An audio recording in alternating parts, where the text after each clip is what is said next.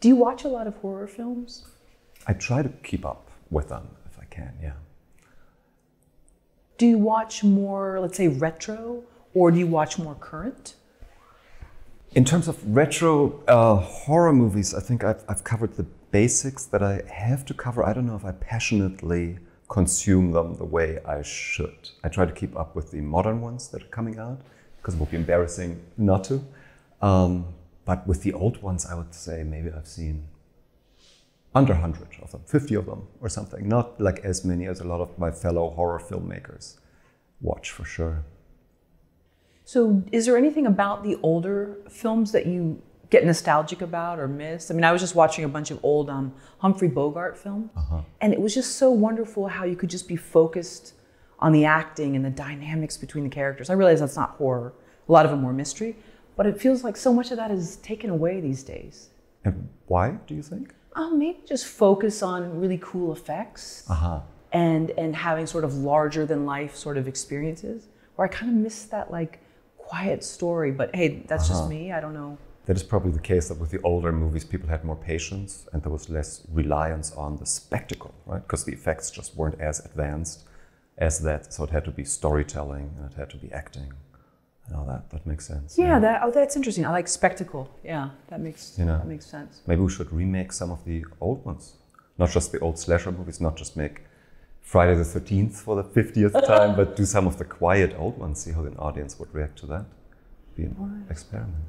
Do you think that so that's a product of just how it's a spectacle every time we turn on the internet? You know, there's so many things, notifications. I think so. With Netflix and all the patience of people, I think it has been, become so much shorter. It's like get to the point.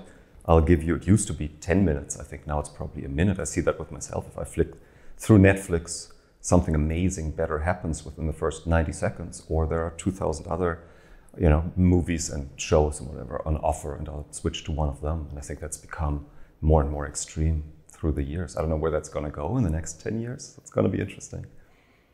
What do you miss about cinema from, from whether it's 10 years ago? I mean, you can definitely see in increments like the 2000s, there was definitely, it seemed like a different style um, versus 1970s, 80s? I mean, what I miss about the 70s is that there was a real um, courage for devastating endings. I think we talked about that last time during the interview, that there's such a thrill in watching a movie and you genuinely don't know if the protagonists are going to be okay or not, which I think was very much the case in the 70s. You didn't know. They would just kill the protagonist off in the last minute and you just sit there devastated. You know, they don't do that so much anymore. They didn't. I think they lost that during the 80s.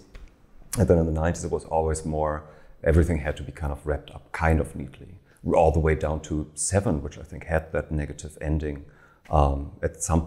And then the studio tested it and said the audience can't process it. So we need some kind of positive wrap up on the whole thing. I would love if that came back, if that unpredictability and that kind of danger came back from the 70s. Let's see. Do you think too, because now there's the opportunity for a franchise, and so if you if you kill off that beloved character, then I think the franchise is one of the considerations in the in the bigger movies. But then then franchises have carried on with different characters. But I think we've also what has happened is the anthology idea that we've been much more become much more comfortable with um, that you can now carry on a franchise, the Saw franchise, let's say. Jigsaw has been dead for five movies or something, and they still kind of make movies with it. And it's so much name recognition now that it's maybe not even that much um, attachment to the protagonist anymore as it used to be. Thinking about it now, right? Ah, because oh, it's more a marketing, because what's being marketed is the name and the franchise, and not like in The Conjuring, there's now the whole Conjuring universe which pumps out movie after movie after movie, but it's not even that there's one protagonist that is pulled all the way through. You know, people are less attached to the characters than they are to the, the marketing of the franchise, which is maybe also a difference to what used to be like, where people got more attached to the protagonist. Yeah, we were just interviewing another filmmaker the other day, and they talked about how in the Nightmare on Elm Street movies that Freddy almost became a parody eventually mm-hmm. because it, it, just it was like this you know, sort of gimmick all of a sudden. So right. interesting. But that's maybe a, maybe that's okay because it's a joyful parody. People were such fans of his that then it's okay to make him that much bigger than life. Same for, I think Evil Dead 2 is a total comedy, whereas Evil, Evil Dead is kind of more serious. I think once you have people on board, I totally understand the impulse to kind of take everything over the top and see where it goes. It's just hard to come back from that, obviously. Once you've gone there, how do you rein it back in unless you make a true uh, remake and restart the show like Halloween did or something like that? Have you gone to any horror cons? No. No, but I want to. They're actually. I was surprised. Uh, people are actually very polite. I you know, imagine. Yes. Uh-huh. They were very polite, and uh-huh. like there wasn't, uh, at least the ones that I attended, there wasn't this weird sort of LA like competitive vibe. Where I've gone to other things that are maybe more, would say, um, high culture, or whatever, and that's not the case. I just found that very interesting. Yeah, I have that with horror fans that they, the ones that I talk to, are very soft spoken, are very smart, are very gentle. Everything that you would imagine they wouldn't be from the cliche. You know, it's interesting. Yeah, I know. I wonder what that is. You think that whatever, I mean, I don't know. There's, there's probably a million ways to analyze why, but I was just taken aback. I was surprised. Yeah. yeah. Okay. What makes you a great horror director? what makes me a great horror director? I don't know if I am a great horror director.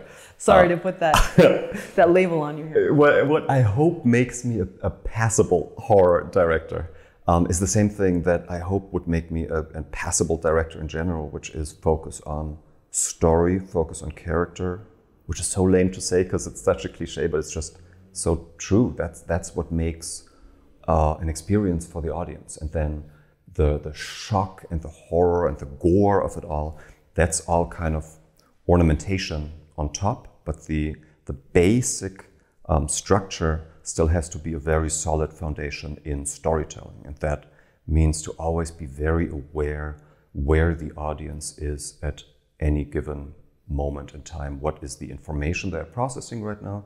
What are the emotions that they are might be fighting, that might be raging inside of them. Hopefully, if you've done if you've done your job, um, I think it's almost like resource management in terms of the audience's energy, attention, and emotional involvement. I think that's kind of the backbone of any directing. You know, it starts with the writing, obviously, that, that script has a certain structure to kind of, it's like this roller coaster um, that the audience is being taken on, and then you are, as the director, the person that takes the blueprints of that roller coaster, builds the roller coaster, and then finesses the roller coaster, always with the audience kind of simulated in your head, which is really hard because you've sat so long with the script and with the characters that you have almost lost touch with what it's like to experience it for the first time.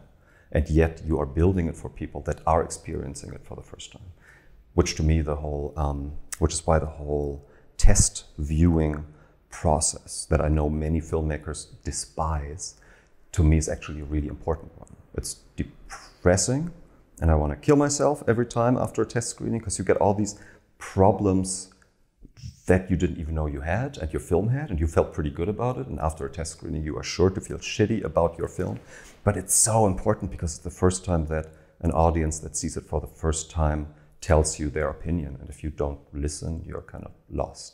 And that took me a while to figure out. So I would, I, I, I would hope that what makes me a good director is how closely I can simulate the audience experience in my mind. Years ago, I had gone, I'd gone to a few of those test screenings where people would just hand you the passes, you know, on the street, and they always made sure that you weren't in the, the entertainment industry. industry. Right. And I found that very interesting because you're going to have a different perspective.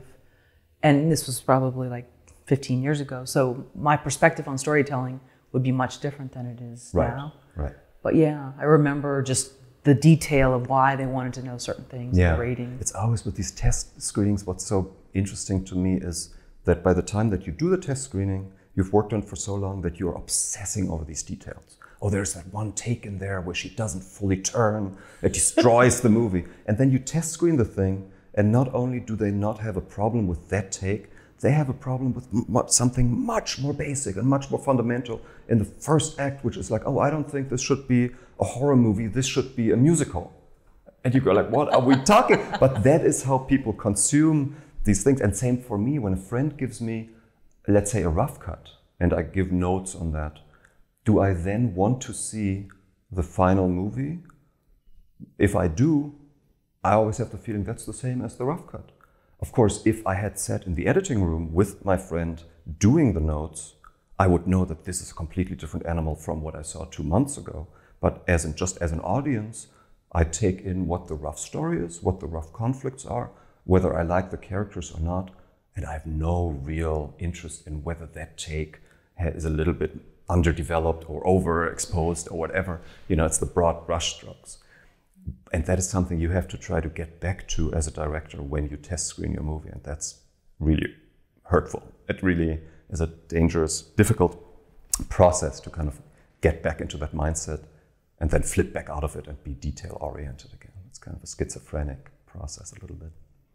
Yeah, I wonder how much focus groups and things like that, whether it's product testing or whatever, are really that helpful, or the fact that you know you were there to quote pick something apart.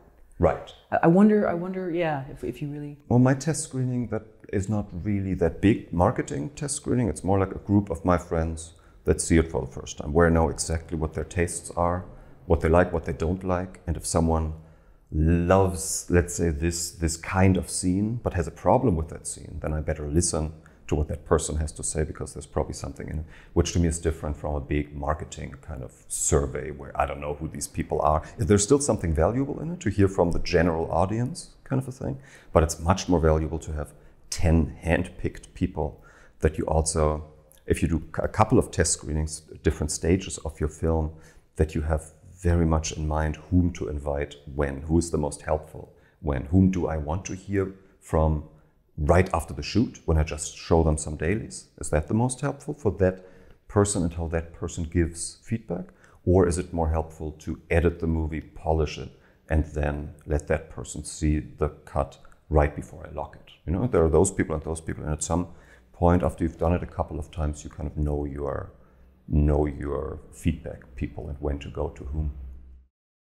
I listened to a panel of um, crime writers speak about things, and they had a question from uh, the moderator, and she asked, What scares you? You write about crime, you write about some very gruesome things, but in life, what actually scares you? And they said, The well being dry, not being able to come up with new ideas. Uh-huh. That they, was scary. They all said that. That was, a, yeah. Uh, I think three out of the panel. The other one said mimes. true. that is true. Um, what scares me, I think that is probably a very writer oriented answer, the well being dry. Because as a director, you don't have to start from scratch. You don't have to start with the empty page where if you don't have an idea, nothing happens. You know, I always have something to work off of, and then it's just a translation process. So that's why you don't hear about director's block much. You know, there's writer's block, but director's block is not so much um, a thing.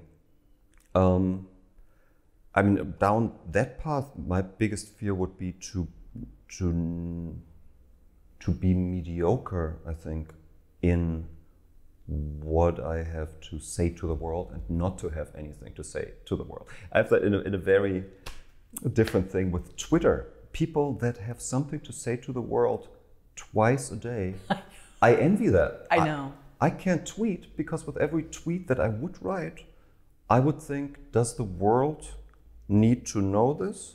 And is this news to the world, or is this is there entertainment value? What is valuable about this thing that I'm going to throw out into the world? And the answer is always nothing, and that's why I don't tweet. You know, um, and, and, and, with movies, it's kind of the same now that there's so much, and that you just pull up Netflix, and there are a couple.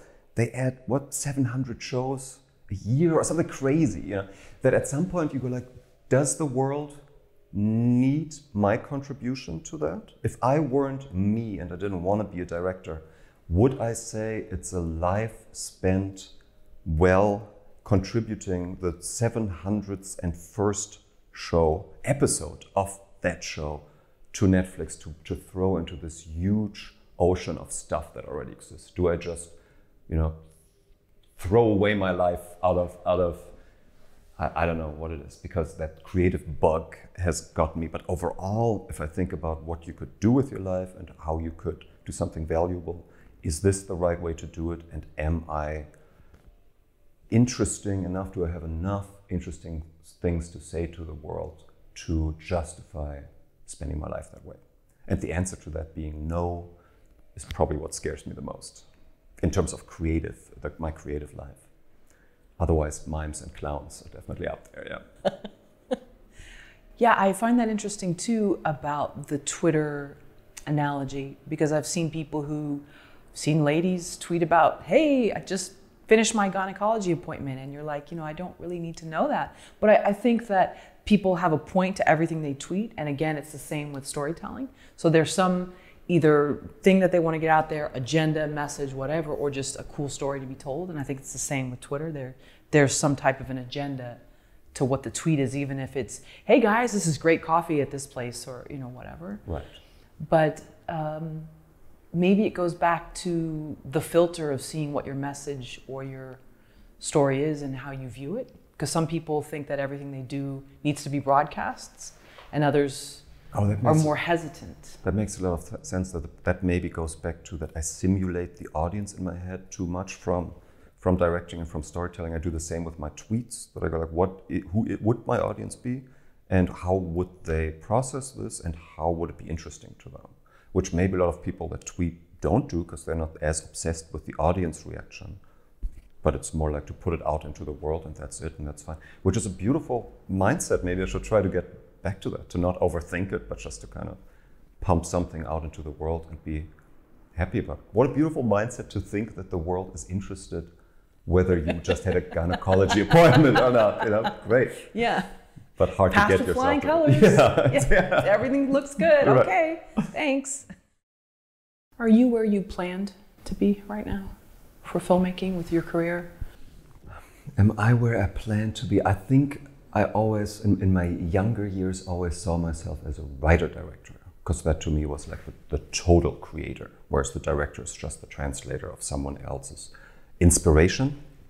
Um, so no, I'm not. I'm not where I saw myself or wished myself, or am even wishing myself right now. It's just that writing is so hard, and I have such respect for writers that do that to themselves and the the stakes of that, of, of you working on something for years that then might or might not get made, or might or might not even turn out well, um, is kind of more than I can I can bear with my fragile creative ego. So I'm kind of playing it safe by staying in the in the directing world, which I probably shouldn't. Thinking about it now, I probably should write again and, and try try more of that because I think that the fulfillment that you get from seeing your story, not just the way it's told on screen, but your story from from the first seat, is something that might must be spectacular. That I've only had with my very first movie ever, um, where I hadn't even written the script, but it was a found footage thing that just came to be. Um, but to know that these characters would not exist without me having had the idea for them was incredible. And I haven't had that since because these characters that I now bring to life, they are already jumping off the page and just putting them on the screen. So they would exist in some other incarnation, one way or the other. So again, it goes back to for me being that the writer being the real creative driving force behind any storytelling. And then the format is just what the director is involved with. I think um, it's also the turbulence that goes along with writing. I mean, I was watching a documentary that compared um, Dashiell Hammett and Raymond Chandler and their lives, uh-huh. and their lives had been, you know, turbulent for different reasons, but it, it was very um, maybe the turbulence of the writing contributed to the the depth of the stories. Right. You know, and uh, with directing, some of that you, you're like you said, you're taking other people's maybe even turbulence and you're bringing it to life, but you don't have to necessarily experience all that. yeah, and the risk you don't take the risk of just wasting a lot of time. You know, if I if I get sent a script and it's financed, then I know the time that I spend on it right now will translate into most of the time will translate into a finished product on screen. Whereas if I sit down at the computer with a blank page and I start, you know, writing scene one, day so and so, the chances of that actually ending up on screen one day are so minuscule, so minuscule, um, which I think you just have to be either ignorant of to do it or be completely delusional to do it anyway. Great, you know, more power to the people that can do that. I get demotivated, I think, too quickly. If I hear the numbers, some producer said to me that in their company, which produced a lot back then, they have about 8% of what makes it into the final stages of development, that they are really developing with a full intention of making it to the screen. 8% of that makes it to the screen.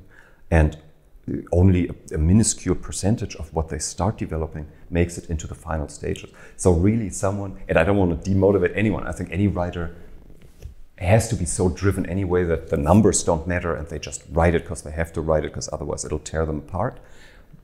But if you did look at the numbers, I think you would you would try to do something other than start writing a script from scratch. And I know that's exactly where I'm going wrong and I should find the courage again to just do it for the creative outlet. And I just haven't in a couple of years.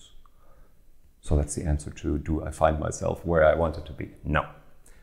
But I also have to earn a living, which would be really hard if I now took a year or two to write a script that then might or might not ever get made. You know, so like real life just kind of kicks in at some point. Right, right. And if you look at a lot of the writers that continually put their work out there and the turbulence that went through it. You know, maybe it's it's just being more of a realist. Yeah.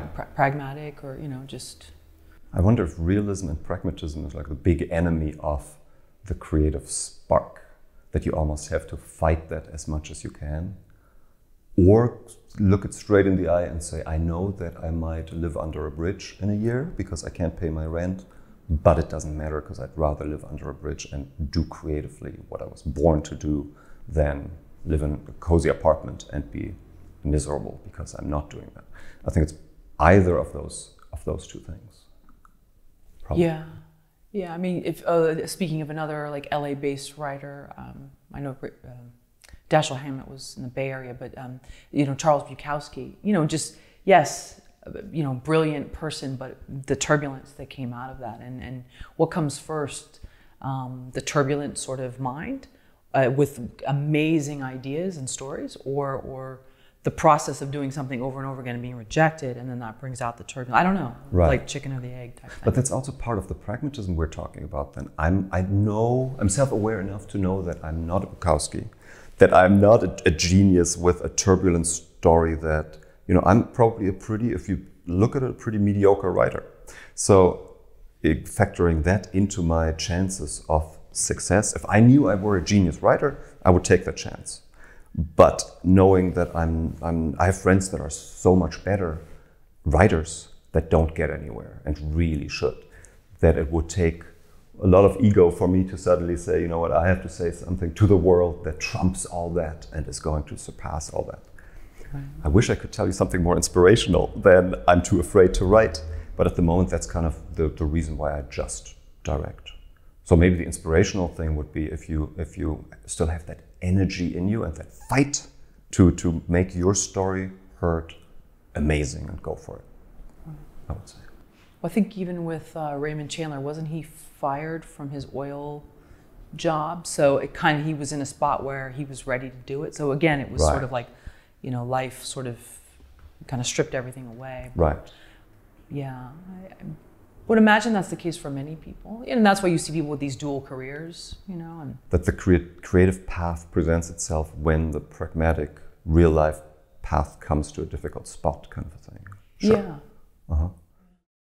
You know, and, and comparing those two men's lives, I think Raymond Chandler came from more impoverished means, and he actually became you know, he ended up living in La Jolla. You know, he sort of like wrote with sort of he was sort of the enemy of the one percent, sort of in his writing. You know, and here he almost kind of became it. It's just so right. very interesting. Right. And uh, and unfortunately, Dashiell Hammett was, I guess, um, taken out by uh, you know, the the Marx, yeah, um, the Red Scare, and was blacklisted. Right. And uh, do you ever think that we'll see anything like that?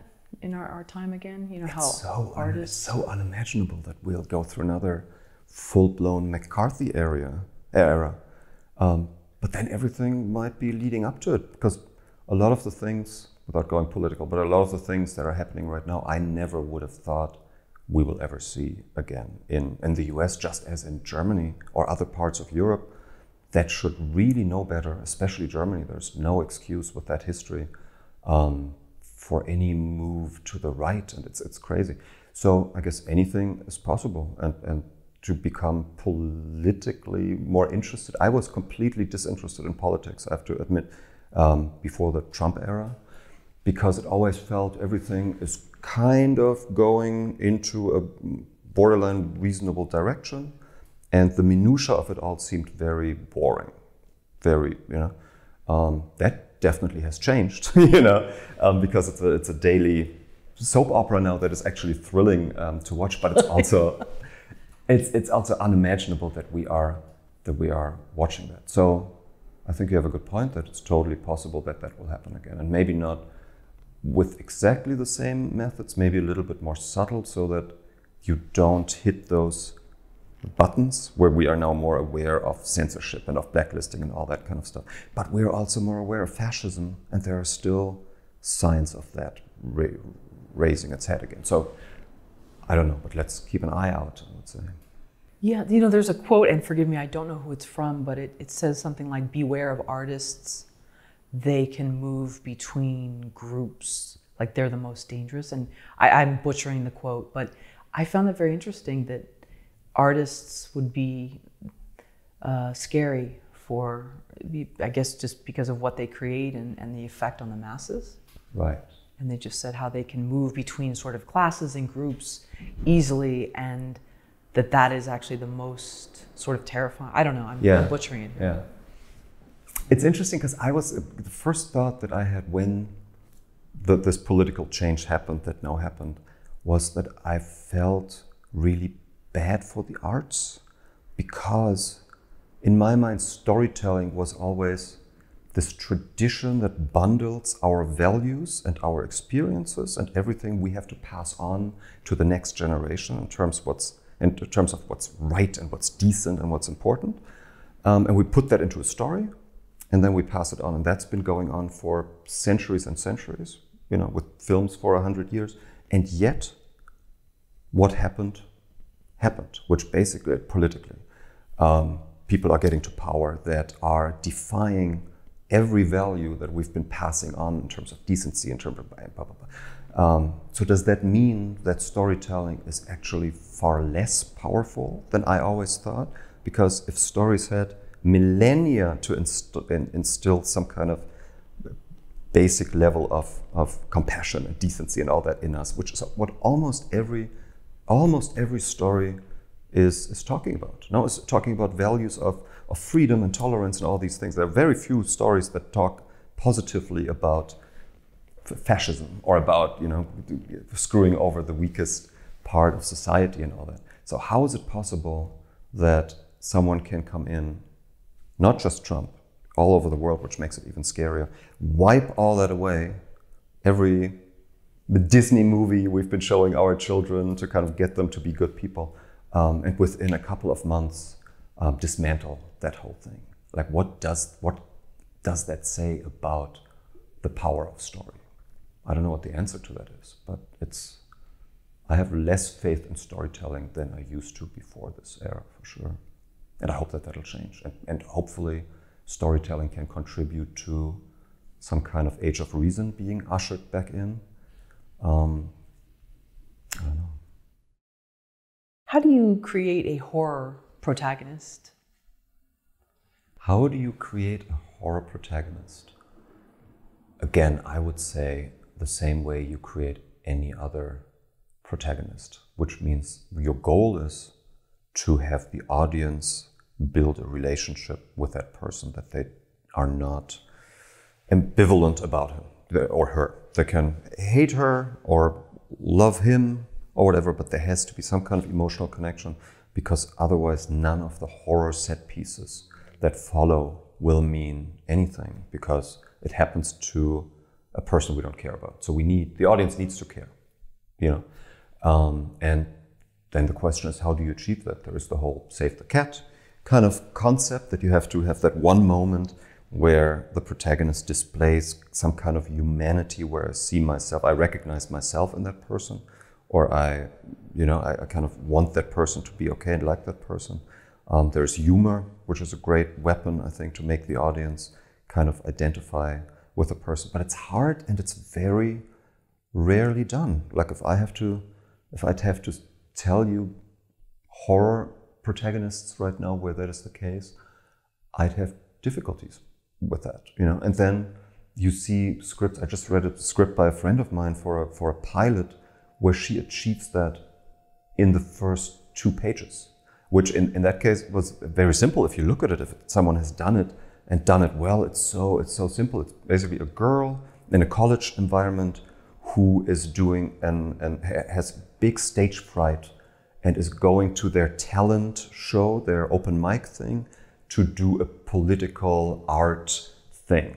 And you love her so much, I think, because you can identify with that fear to go up in front of everybody, but she does it anyway because of her conviction, because she cares so much, and she cares about bees in that case. She's the torment of the bees is something that she just has to tell her to the world because she can't bear how bees are treated. So that combination of someone will look social death straight in the eye to save bees. I was like, that girl I'm on board with as a protagonist, even if she on page three starts killing people, I would still go like, "You go, girl," you know. Um, and that's a huge, huge goal, and that's I think not at all uh, genre dependent. That's a very interesting question. If if you ask our other horror filmmakers if they have uh, an angle on how they establish their protagonists that is influenced by the fact that they're working in horror, I know that that's not the case for me, for sure. I think with Jamie Lee Curtis's character, it seemed like she was pretty much well liked through through you know in, in Halloween. That's true. She definitely was the darling. Um, That'd be interesting to dissect why that was the case. Like, why do people gravitate to some characters? Because I, there, I couldn't tell you a kind of save the cat moment, for example, when she was established necessarily. Like, wh- which are other horror protagonists that you feel strongly about? Do they have a strong sympathy for? well, Carrie, I always felt, Carrie. but I don't think I think Carrie was more polarizing because people thought she was creepy, so she quote deserved it. I I think unfortunately that's a mob mentality. But that is okay too because it's an emotion and an investment. That that half of the audience hates Carrie and the other half loves Carrie, that is goal achieved. You know, you don't need 100% of the audience to love her. You just want to keep the number of people that are indifferent towards your protagonist as low as possible. You know, um, and Carrie is a great example where I think that was very, very successfully done, for sure. Yeah. Right, right. And um, Linda Blair, I think she was more more liked. You know, she was sort of she wasn't her fault that she was possessed. Right. But then Linda Blair in The Exorcist is is like a type. If if you had to tell me what that girl was really like, I don't think it's a very interesting personality where you go like, oh, she came so to life as a human being that I can't get her out of my head. Like you could have the, the, the stuff that happened to her was so horrendous that if you had that happen to any child, it would probably have that effect. You know, so I don't even know if the or if even The Shining, if I go through there, there are not many, there are not many movies that successfully do that. Period. But I think there are probably even less in in horror. And if I had to speculate, I would say that has to do with an, a, a misguided focus on horror set pieces. That we think a good horror movie is made of great horror set pieces, which is true, um, but that the character development is overlooked in that case. If I if I um, look at The Sixth Sense, for example, that boy and his torment to me worked so well. If that if there had been no ghosts and it was just about that boy, I would still care about that boy because he was he, he it was so well acted, it was so well directed, it was so well written that I cared by the time that the scary stuff started happening.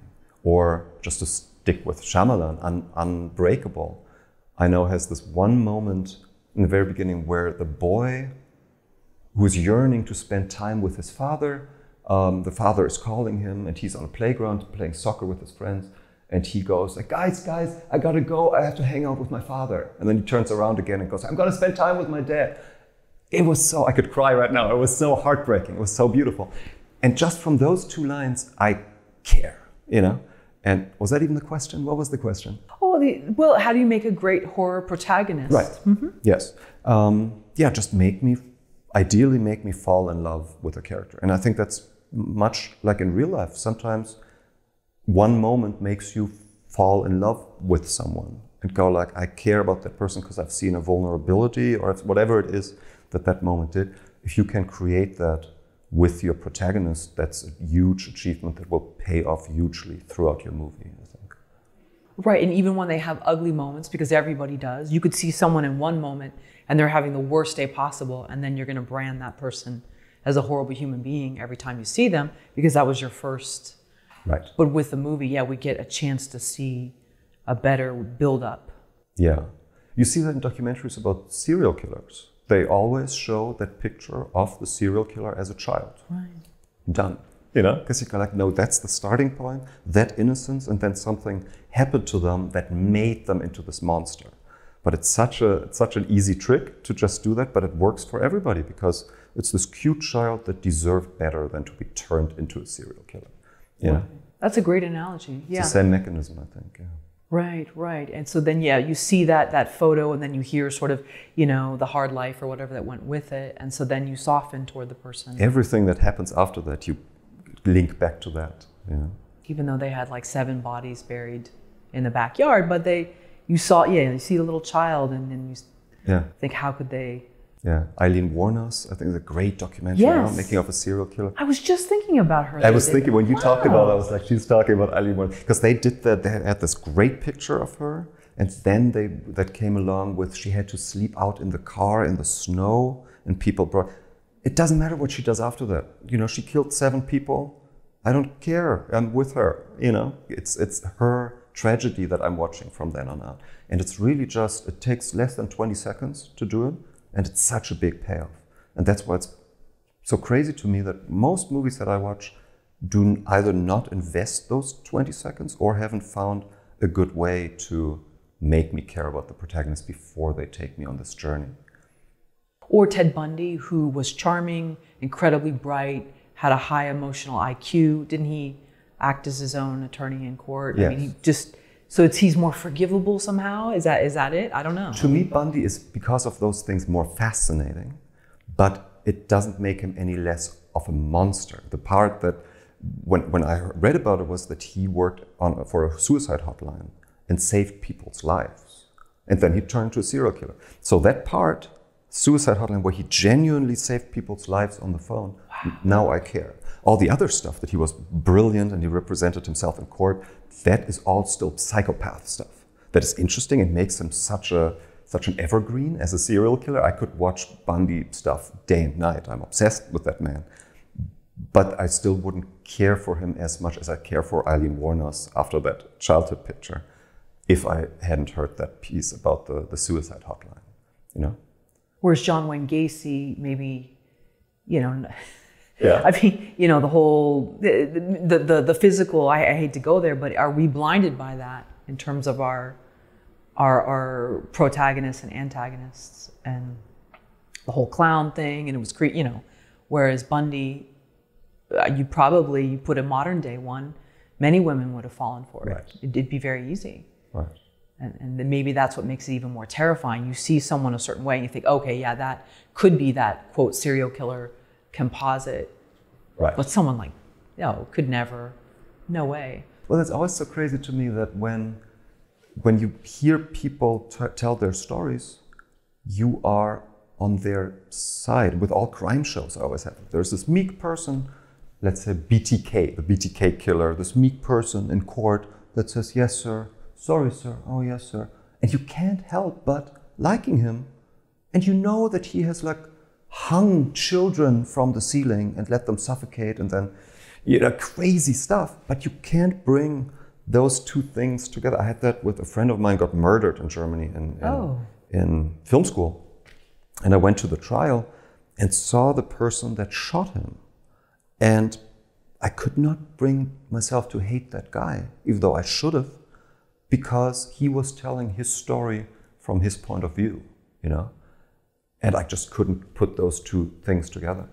Um, and I think that is maybe a lesson in storytelling that it's all about point of view and about the angle and what you spend time on. Obviously, in that case, they suddenly spent a lot of time on his childhood, Where before that, I was only spending time, my, my energy on the moment of my friend getting murdered. But it depends on where you start that story and how much emphasis you put on stuff. And maybe got to bring that back to horror movies. A lot of horror movies seem to not look, not spend a lot of time on that character development, but rush to the first set piece as quickly as possible. And you always have the opening sequence where this family with the boxes are standing in front of the old spooky house that they just inherited or whatever. We go like, really? Yeah. Um, but I think they would be they would be better served spending more time on that, which again doesn't have to be much time even, but to to hammer home that moment that I can put my finger on in the script and go like, this is the moment that is going to make my audience fall in love with my protagonist. That should almost be a requirement for every scene. Show me that moment. Um, and you almost shouldn't read on if you can't put your finger on that moment because you know that something is wrong with, with that script. That sounds harsh, but I think we would get much better movies if that were a requirement for the writer to point out the, the point where he or she thinks the audience will fall in love with the protagonist or hate the protagonist or develop some emotional attachment um, to the protagonist. I'm definitely glad that I was allowed to grow up before Instagram. Because if I look, we just had an au pair, a 19 year old from Germany, and it was amazing to see her live just for a couple of weeks because so much energy and thought is put into this side job that you have 24 7 of being a PR agent for yourself because you owe it. You have to present yourself to your peers through Instagram. I don't think that not having an Instagram account is an option, even. You'd be an outcast and a crazy person immediately. And that means you have to not only update your own account, but you also have to make sure to like your friends' things quickly and because it says something about your friendship, blah, blah, blah, blah, blah.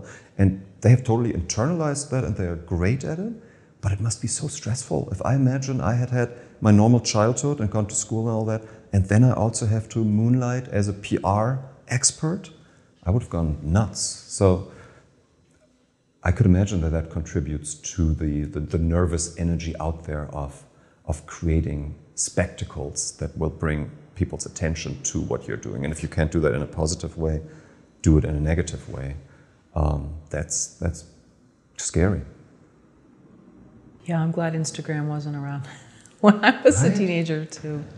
Yeah, just the pressure of it, and if everybody feels pressure, whether they're the most popular to the most uh, outcast yeah. of, of sort of the school or whatever. And, and then you have to interpret everything. Why did my friend not like my photograph, so and so? Are we not like the, the value of the friendships? There seems to be like a stock market market of value of friendships all the time that rise and fall by likes collected. But to even survey that is a full time job, you know?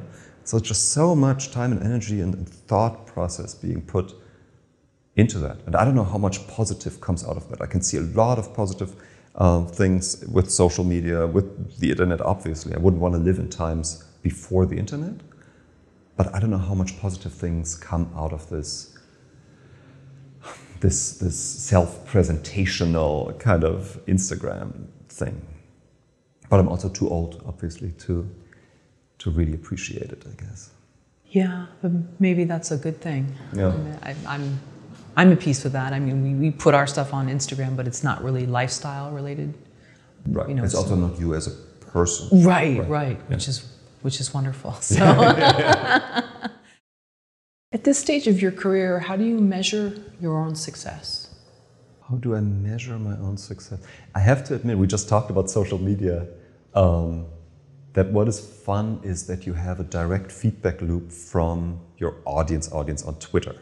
So I do read Twitter um, and their comments because the great thing is that that people that are posting on Twitter don't think that you're reading it. So it's really, it's the purest feedback you can get more than I get from my family or from my agents or from anyone ever. The most honest opinion um, is Twitter. And what is great about it too, which you always forget, is kind of the innocence and the, the lack of cynicism with which a general audience outside of Hollywood consumes your stuff. Because you are in, in this bubble of other storytellers and filmmakers and, and and you spend your life in that and you develop your stuff in that and they test view it you're always in this mindset of what is new what is cutting edge what is unpredictable blah, blah, blah, all that stuff. And then you put it out there and you realize that the, the, the scene that you thought was the most generic and you were slightly embarrassed by people get so excited about. And in, did an episode of Fear the Walking Dead, and there was someone's head getting chopped off, some zombie's head getting chopped off. And that is suddenly the most exciting moment for everybody. And it, it, it reminds me of this pure joy of, of consuming cinema that I, th I think I threw out the window and sacrificed when I went to film school because that was taken from me the actual watching a movie as a movie and enjoying it as a movie and not always thinking am I cool and intellectual in liking this or not liking this? You either liked something or you didn't like something. Um, so that's always a real interesting thing to kind of get that reaction. So a lot of how I judge my success is how thrilled or enthusiastic are people on Twitter as individuals. I don't even know if there are 10 people of them out there or a thousand people. It almost doesn't matter because it's it's, it goes back to why you originally wanted to tell stories, to evoke a genuine emotion in someone. If it's just that one person that says, my favorite movie is, and then it's my movie, which seems to happen with, I, I did that as a test to just type in some random indie movie that I didn't make, to just see if it's somebody's favorite movie. And it is. You almost can't put a movie title into Twitter that someone has not said it's their new favorite movie. And that's the most beautiful thing in the world, to think that I, not because I'm special or a great filmmaker, but just by the virtue of having made a movie, I created someone's favorite movie. That's almost enough of a success to, to justify wanting to make movies all over again. Do you respond? You said you, do you do respond? No. Oh, you don't. Okay. No, I've done that in the in the at the very beginning because I thought, oh, how cool would it have been when I was young. Um, that the filmmaker actually responds. Yeah, that would have blown my mind. So I did that in the beginning, but it never ends well because you can't live live up to that because I, which I totally understand that for an audience it's hard to have that contact and then not have that contact anymore. So then you're getting Chris, in that case, Chris, I'm still getting Christmas emails from someone I was in touch with 2010. And the first years I still wrote back, but then how do you, you know? So, the, and especially with negative stuff, like never, it's always a mistake to respond in any way to negative stuff because you can't, you can't win, you know. Other than, you can, maybe you could, if you wanted to respond, you could respond positively and say, good point, I see your criticism. Um, but to defend yourself is always a mistake.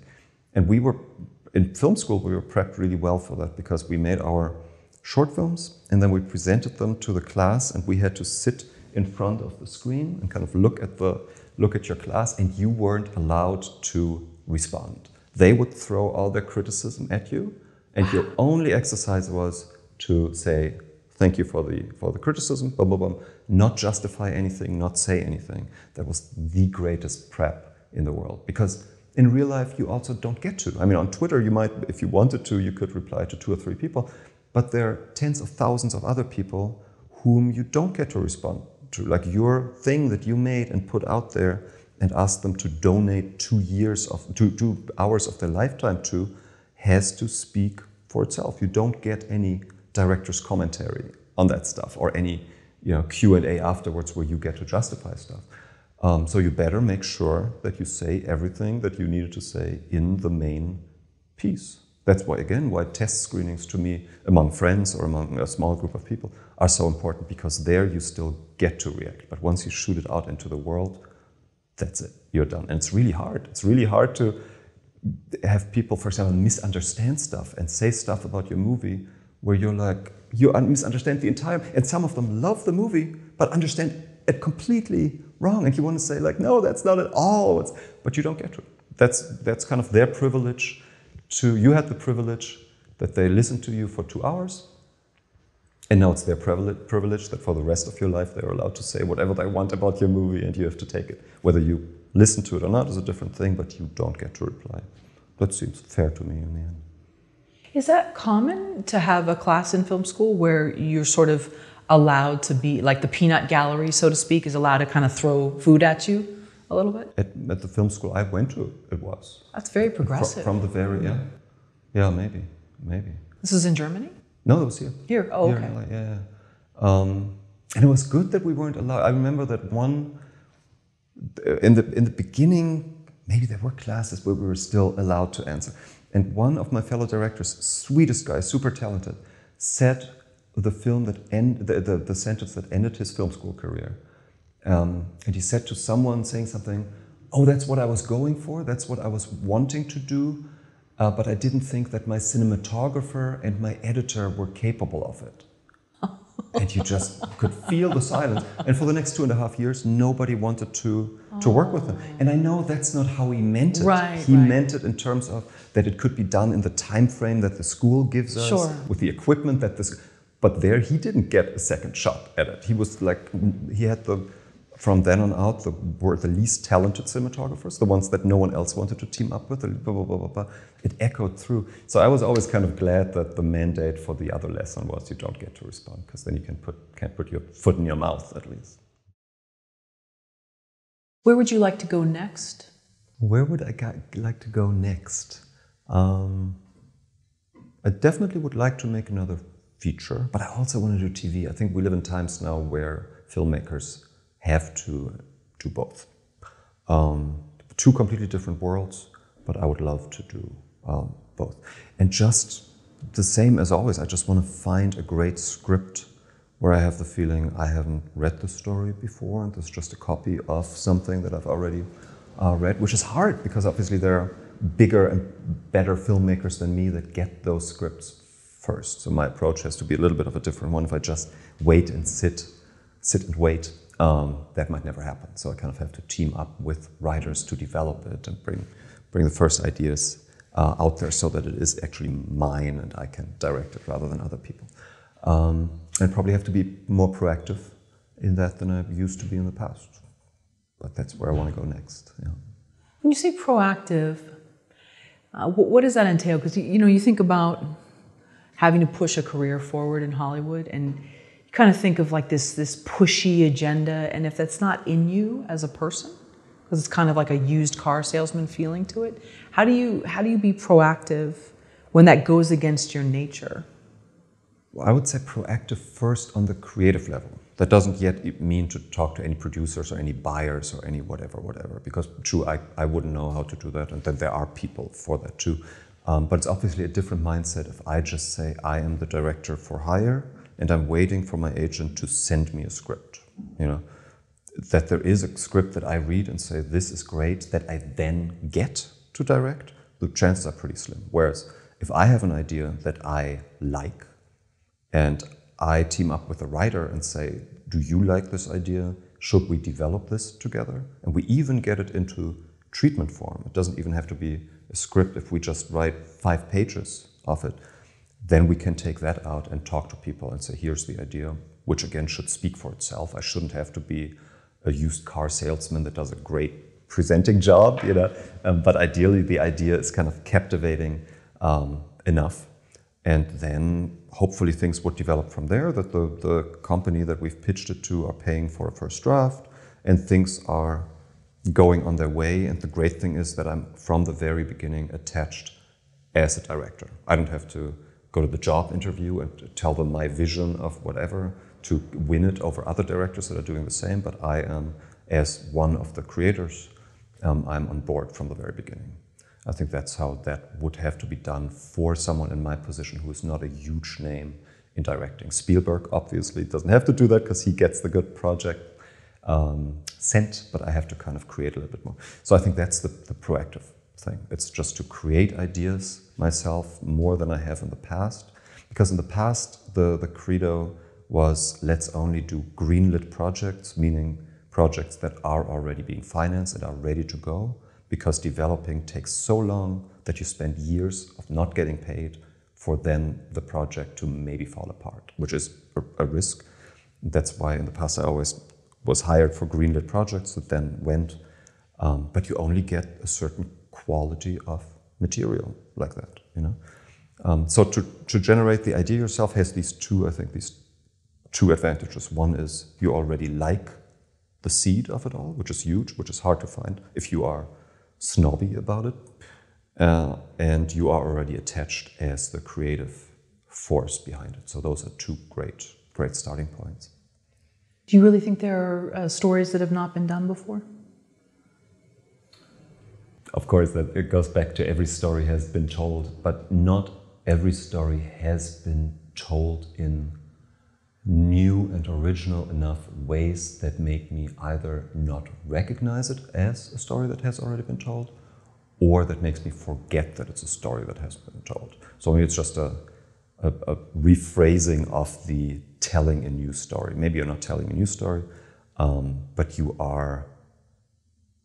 It's like cooking, right? It's like you, you might not have a completely new, you might not suddenly eat things that have never been eaten before. I don't suddenly eat, make a dinner out of plastic and metal and wood. I'm still using vegetables and whatever. Um, but the recipe might be a completely new one. And when people eat it, it's an experience that they haven't had that way. That's basically all I'm looking for. Whereas a lot of scripts that you get are experiences that you've already had better and stronger, and it's a weaker copy of that. And that's kind of what you want to avoid. Right? What are your thoughts of making a living as a film director in 2019? Is it possible? Is it doable? Is it more so with television? My thoughts on making a living as a filmmaker in 2019. It's definitely possible because people are people are doing it. Um, I think it's a great time, especially for female filmmakers, um, which you can't point out uh, enough that if I've seen my, my director, female director friends over the past years that have always bumped up against some wall of subtle sexism. There was just only so far they went. They were smarter than us male filmmakers and they were more committed. And yet, if you saw the numbers, they just didn't get to direct the projects they should have. And I think that is very much over right now. All my female directing filmmakers they are having stellar careers. One of them just had a commercial during the Super Bowl.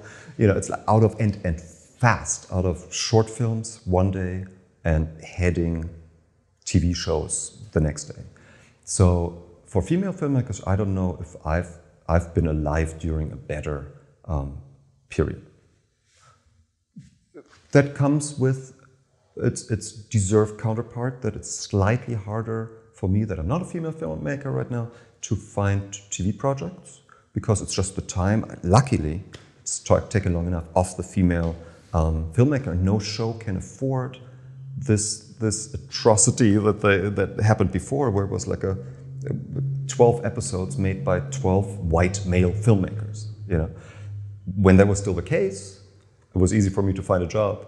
But luckily, we're more woke now. You know, so. Um, I, I, kind of see get a little bit of the taste of what that must have been like, where it's just hard to get that job. What it must have been like for them for you know years and years and years and years. And I've only done it for a year or, or, or two since that kind of the whole Harvey Weinstein thing kind of happened, and a lot of good stuff came out of out of that. You know, in terms of society uh, changes.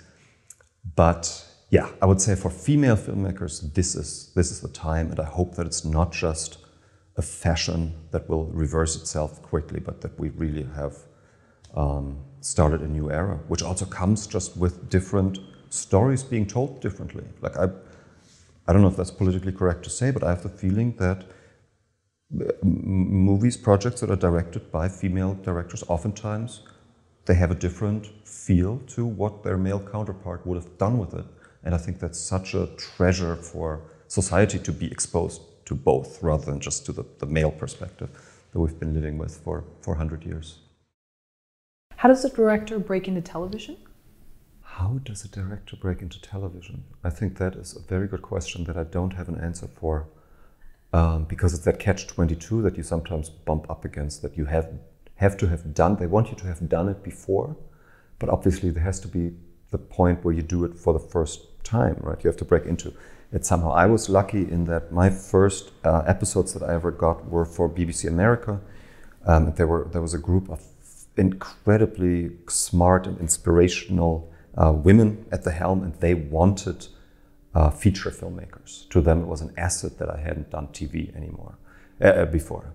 Uh, but that's probably a very forward-thinking, courageous thing that you don't necessarily find everywhere. Most most channels want people that have done TV before. And same for pilot directing. Um, you are either a pilot director, meaning you have directed a pilot again, which before, which makes you eligible for being hired to direct another pilot, or you're not. I'm not a pilot director because I haven't done a pilot before, so I don't get to direct pilots. It's a mystery to me how I'm supposed to become a pilot director. So I totally understand if other filmmakers, to them, it's a mystery how to break into TV. I have no idea. A miracle has to happen. what was the BBC project? It was called Intruders. What was, was it about? Um, it was about reincarnation. It was Glen Morgan, the showrunner of X Files, was the showrunner. It had Mira Sorvino in it, um, James Frain, and oh, most importantly, Millie Brown, who then rose to stardom in Stranger Things ah, as okay. the main the main girl, right, right, uh, mm-hmm. who is absolutely incredible. Um, it was based on a British book, very good book, um, but for some reason it didn't really catch on and was cancelled after one season. But to me, it was great because I got to make four episodes. It was eight episodes altogether. It was Eduardo Sanchez of the Blair Witch Project who did the first four, and I did the last four. So that was kind of great to really get the hang of the TV style, which is so different from movies. You know, to be able to practice that over four episodes. I was really lucky there. And it was shot in the UK. In uh, Vancouver. Ah, okay, interesting. What do you see as the difference between British television and not comedies, of course? There's definitely a, a difference in humor, but uh, something that's supernatural or horror based versus uh, American, or maybe there's no difference. I enjoyed the BBC's. Uh, yeah. I mean, everything they do, it's excellent documentaries. Yeah, I mean, if you watch Killing Eve, which is my favorite show at the moment, which is incredible, I think that illustrates that that point that character is everything more than anything else. And I think the Brits really have that down. They don't, their actors are not the most modelly looking people. They're people that we believe as real people. And they are not worried to let them have negative sides to them. So they're very relatable and much more interesting um, to watch. And then British actors, I think, also approach the craft differently than, than American actors. Um, so it's a different, it's a different vibe. So I love the British stuff. Not just for what what they do is that they only do a couple of episodes. They do it brilliantly, and then they're out of there. It's kind of the opposite of the American way, where it's like we have something that we will beat to death over eight seasons now. if you look at The Office, I mean, the original Office, which was a complete genius, has what 10, 10 episodes or something. Like that's that's it, and, it, and they quit on the height of their success. Ricky Gervais was like, done with that. I've given this everything that I had in me. Boom. I don't know how they where they get that integrity because the money aspect is still there, obviously. But then the US remade it into what, which was also a great show, but into eight, ten seasons of The Office, you know. Um, same with Fleabag or with all these great shows. They just don't overdo it, and that's why every, as an audience member, I feel my time is really appreciated because they put all their ideas and all their jokes and everything that is, makes it brilliant into a shorter amount of time because I have less episodes. It's more bundled and I don't feel like it's dragged out. Whereas with a lot of the American shows, I have, and uh, I don't want to poo-poo on American shows. No, more, no, right. other, mm-hmm. um, but you have the feeling there's there are one or two ideas in there, and the rest is stretched out. You know, so here's the plot point for this episode, and the rest is they would call it character development. But oftentimes, it's just wasting your time somehow. Whereas the British stuff is like here are eight plot developments or character developments in 45 minutes. So it's just a, a much more I don't know. It's a it's a it's a in, more interesting format to me. You'd said with the uh, British actors, maybe their approach to the characters might be slightly different than American. Do you think they get more theater training? Yeah. I think it's used to being in front of a live audience and it's there's a different presence. Yeah, very much. I think it's also that I think method acting is very much an American thing, whereas what someone said, and I don't know how true that is or not, is that the American way of acting is from the inside out, from the emotion out, and the British acting is from the outside in, which is interesting because the American acting, if you just describe it like that, sounds like it's more has more integrity than kind of pretending a physical presence and then have that inform the character. But I think that's what a lot of the British actors do that they figure out the physicality of something and then let that inform how they feel about it, whereas the American way is the other way around. And as a director, what's interesting, first of all, every British actor I've ever worked with, and I don't want to generalize, but they've been great to work with. The most modest, focused, humble people ever. And I think that's partly the theater education, but also that the star system over there is a different one. Like they see themselves as actors, not as celebrities or personalities or blah, blah, blah, blah. And then because you are you are kind of working with them on something that comes from the outside in, they are much less sensitive to adjustments. Sometimes with American actors, because you're basically your your workshop is their psyche and their emotions and all that from it's a very sensitive subject matter because if you if you if you give them an adjustment that basically means that you ask them to feel differently about something right? And why they feel about something a certain way is their entire programming their entire dna their entire life so far. So you giving them an adjustment goes right into all that so it's very very deep whereas with the british way of acting that ego isn't attached to that. It was just kind of one thing they tried out this way. If you want an adjustment, they'll try something else. And then they will tell you how that makes them feel. And then you can work from there. So it's weird that, that if I hear myself talk about it, it seems like the more superficial way of working. And yet the effects are, are very, very strong and very, very fun. I don't know why that is. That's a really interesting observation. Hmm. Oh think I have a follow up for that. That's really fascinating. I wouldn't. Yeah. You would think it would be different because it is internal. It's the reverse, and, and how that actually may work. That the internal one is is the higher art of acting than the other one, right? But it's in, in practice, it's not with the results that you get. Yeah. Maybe that's also that I'm just totally making stuff up. I know very little about the acting experience, but that that there must be a lot of energy that is being lost on creating that emotion that then we don't necessarily see. Whereas with the British way of acting, all the energy, because it's from the outside in, is something we, we see. There's not as much energy lost in the underbelly of invisibility, yeah? whereas you get the results immediately. Um, and I don't want to speak against method acting. I think it's it's wonderful, but it's a different. Sure. It's definitely a different experience. Yeah. What are the advantages and disadvantages of being a studio director for hire?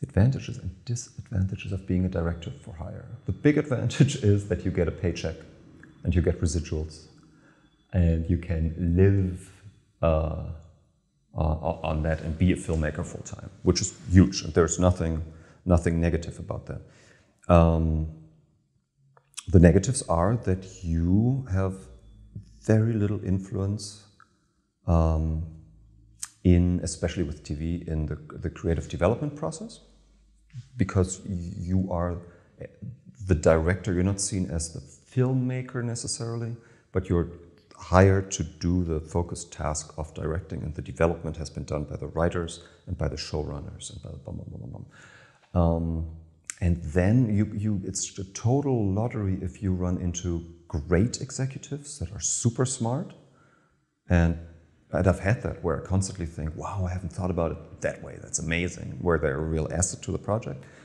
Or if you run into people that must be friends of a friend of someone that hired them, have no idea about story structure, no real interest in story structure, but sometimes just like to hear themselves talk, or have to give notes because that is their job, and you always have to work around the notes. You can't just say, that's the dumbest thing I've ever heard. No, we're not doing that. You always have to say, okay, this is how we are addressing blah, blah, blah. And a lot of it then becomes politics. You're suddenly halfway a diplomat trying to, to protect the project against notes that you clearly feel are harmful while giving the executive the feeling that they have a positive impact on the, on the project, which you don't have to deal with in independent filmmaking. So it's really a, a clear trade-off. They give you the money to do something, which is, ex- is extremely comfortable, not having to raise money to make your movie, which is such a which bogs you down in independent filmmaking.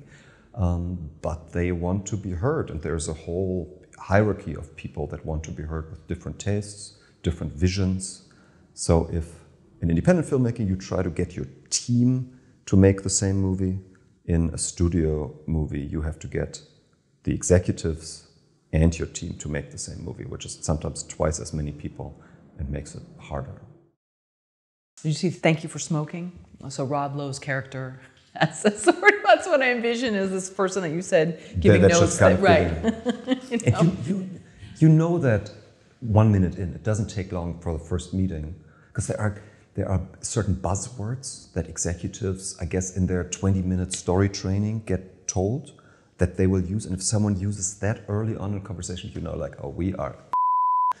you know. I'm just curious what they are. No, um, like one big thing is elevated genre. We want this to be elevated. Sure, like what, is what that? does it okay. mean? You know? they want smart genre. They want blah blah blah blah blah. Sure, but that doesn't help us with the development. Um, organic. The characters have to be organic. It has to be character driven. It's these words, they're all true, but they're cliches. They came out of a, good observation. Right. So if someone's only contribution during a first meeting is to ask for a character driven, elevated horror story, I know I'm in trouble because there's not going to be much actual help coming from, from that side, you know. Um, so just kind of like these catch, like I, I, hear a lot of millennials use the words, it's so meta.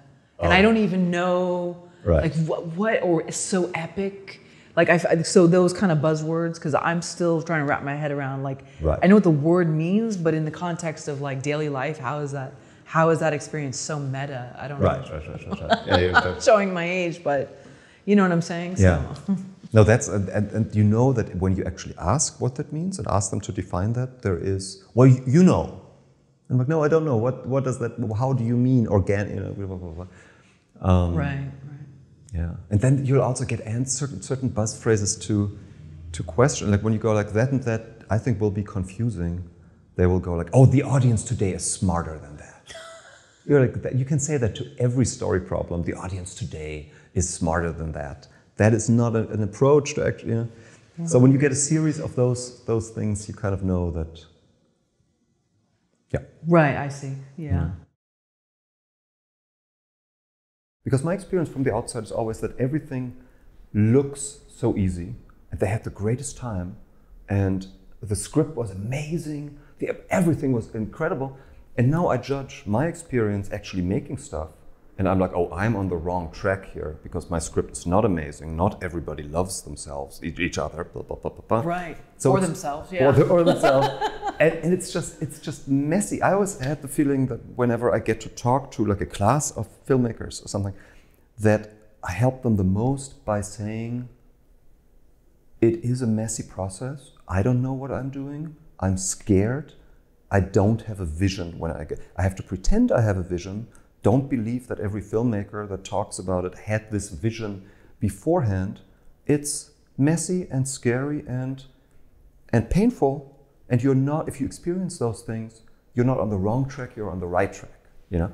But yeah. a, lot of a lot of these interviews, these PR interviews for movies, obviously don't allow you. It's nonsense. It, to do that. So you watch that stuff, and if anything, it'll it'll hurt your career because you think it's it's something different. So, yeah, that's why I'm always like, why do people even ask questions that they have to know that I'm not, I can't answer truthfully because my career would be over and to say yeah. I hated that producer or yeah. that studio is completely incapable or that writer wrote complete bullshit. A, they don't deserve it for me to call them out like that because they don't get to do the opposite to me with me. Um, and B, no one would hire me ever again. So don't don't force me to lie on camera is what I always think in these press press interviews. Yeah, yeah, it's tough. I mean, a lot of those are just like, how is it? What you know? I love the the how is it like to work with Meryl Streep? You know, and you're I mean, which is kind of an insult because you're not really there to talk to that person about Meryl Streep. Uh-huh. You're there to talk to about to that process. But so many of those junkets are like that, and yeah. I'll be nervous and hyperventilating beforehand. And I'll be like, "You're ner," you know, and then and they come in, "Hey, you know, everything's great," and yeah, yeah, it, it is very surface. Um, and I could see why people wouldn't want to do those junkets. I can definitely uh-huh, see uh-huh, it. You know, uh-huh. it is. It's five minutes, gets your point. Okay, bye, next. Yeah. You can't build a rapport with the person.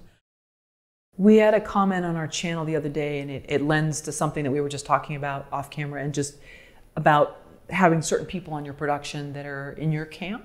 And you said someone had given advice to someone you know, and Yeah, a friend of mine is a female um, director who's very successful in TV right now. And when she, before she did her first episode, she asked some other huge TV director, I forget who that was, um, if you had to give me one piece of advice, what would that be? And he said, make sure you have someone that is on your team, meaning that has not been hired by production, has not been suggested by the producers, but someone that you have worked with and trust and that you bring into the project. Um, which is, doesn't seem obvious in the beginning because you are so taken by all the great talented people that production is throwing at you that you are happily taking that one, that one, that one. Um, and in the beginning, everything is rosy anyway. The energy is like everybody's excited. there are no problems, blah, blah, Yeah. blah. But I think the, the, the process is one where no matter how great the producers are that you work with, I always look at them in the beginning and go like, I know we're going to have a screaming fight at some point. Doesn't matter how great they are. It's just, it's like you're going through this war together. You're exhausted and you don't have 100% overlapping w- worldview and creative views. Otherwise, you'd be the same person. Just by virtue of not being the same person, that friction, especially with the money involved, will at some point lead to the moment where you find yourself on set being screamed at by that person, screaming at that person, and having to figure out the next moment after that. So that's always what I'm in my mind jumping ahead to and go like, do I want to do that with that person? Does that person seem reasonable and human enough that we will survive that moment and it's not going to taint everything into bitterness? And then uh, connected to that is this bring your own person because you will find yourself in a situation where everything is so crazy and there are conflicts and you are not completely sure that it's not you going crazy especially because if production comes with all their people they owe each other loyalty. Like if you have a tv show for example where they've already done 10 episodes i'm doing the 11th episode this whole team has me on set for a week, but knows that the next year of their employment depends on being in good graces with the producers.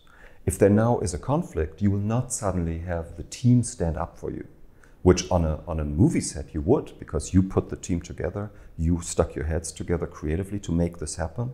And if there's a conflict with the money side of things, you are anchored in your creative people that give you the, the the confidence that you are pursuing the right thing for the right reason. In TV, you don't have that, for example. So what she was saying to even have one person there, with, as she brought her cinematographer, um, where, where she said, no, I want to hire my own cinematographer, blah, blah, blah, made a world of a difference because she knew that she had one ally on set. And again, that's really hard and sounds very negative to think of conflict in the beginning when everything is just fireworks and everything is great. But I think that's a smart way to do. And if, it, if there is no conflict, I have I've yet to see that set where there is no conflict. But if that happens to be the case, then great, you know. But at least you have some kind of insurance of having someone who has your back and is not beholden to the producers. well, there's a honeymoon phase for everything, whether it's a new job, whatever it is. So, yeah, everyone's going to be on their best behavior, Right. and and then people's preferences and quirks and everything comes out later. And then, yeah, are you able to recover from it and still be cordial and professional with each other even after a blow up? Right. Or does that person hold a grudge? Right. And and then to have someone in your own camp, I think that's great. And also as a sounding board, somewhat not not as like a full emotional sounding board, but someone that basically you can run something by. Like, was that when I gave that was that clear? Right. And and I think that's helpful. And in that context, the greatest thing, of course, if you can bring someone on that you've worked with before, that can give you context of oh, what we did, we did it before like that, what they want now is different, blah, who can see what you do in a context with a little bit of background, I think is super helpful. That's maybe a luxury to have, that you have someone who is uh, as professional, like functions on that high a level that the production will say, yes, we will hire your person instead of our person, that is probably hard to achieve. But if it can be achieved, then that is a big plus, I think. What if a filmmaker finds themselves in a situation where they can tell their that the production is running away from them and they are it feels like their head spinning and everyone's sort of got their own agenda. How, how do they make it through even if they say, okay, this is not going to go well, but I need to, I'm contractually, you know, I'm contractually obliged to continue this and I'm going to stay there and, and tough it out. How do you kind of keep your sanity? I think that is the answer. What you just said, you just, you're, you're there. I, it hasn't happened to me in, in that bad a form, and I do wonder that myself because it's so demanding to be on set, even in the best of circumstances, that if it's a nightmare atmosphere continually over days and weeks, I don't know how people, how people do it. But I guess if you are getting paid for it, then you just concentrate on that and go like every day that I'm on set, I'm getting paid. And if I was working in an office environment, I would hate it too, but I'd go to get paid. So I'm doing that now and I'm trying to not lose my my sanity. And then if that can be achieved at all, I'm always trying to remind myself how cool it is that I get to do this and that I get to see this, even if it's a nightmare how amazing that I get to see an Oscar winning actor be a diva and be hated by everyone, but I get to see it from the first row. like I'm in Hollywood. How great is that? And you always forget that because you're so in it. And you go, oh, I hate this and I don't want to get to set, blah, blah, blah. But if you have a little bit of a distance, which in TV is much easier because it's not your baby that you have written and nurtured over years and you now see fall apart but it's an episode that someone else wrote and you're just there to kind of make it literally through the day. And then it's a little bit easier, I think, to step back. But again, then it helps if you can turn to someone at the end of the day and can roll your eyes with them and you know that that wasn't a normal day. Whereas if you don't have that person and you start getting the feeling that you are the one that is off and that this is a normal condition that you're working with, I think then it can really kind of eat away at you. Sure. sure. And that's where you just kind of keep it to, wow, great weather today. Right. Yeah.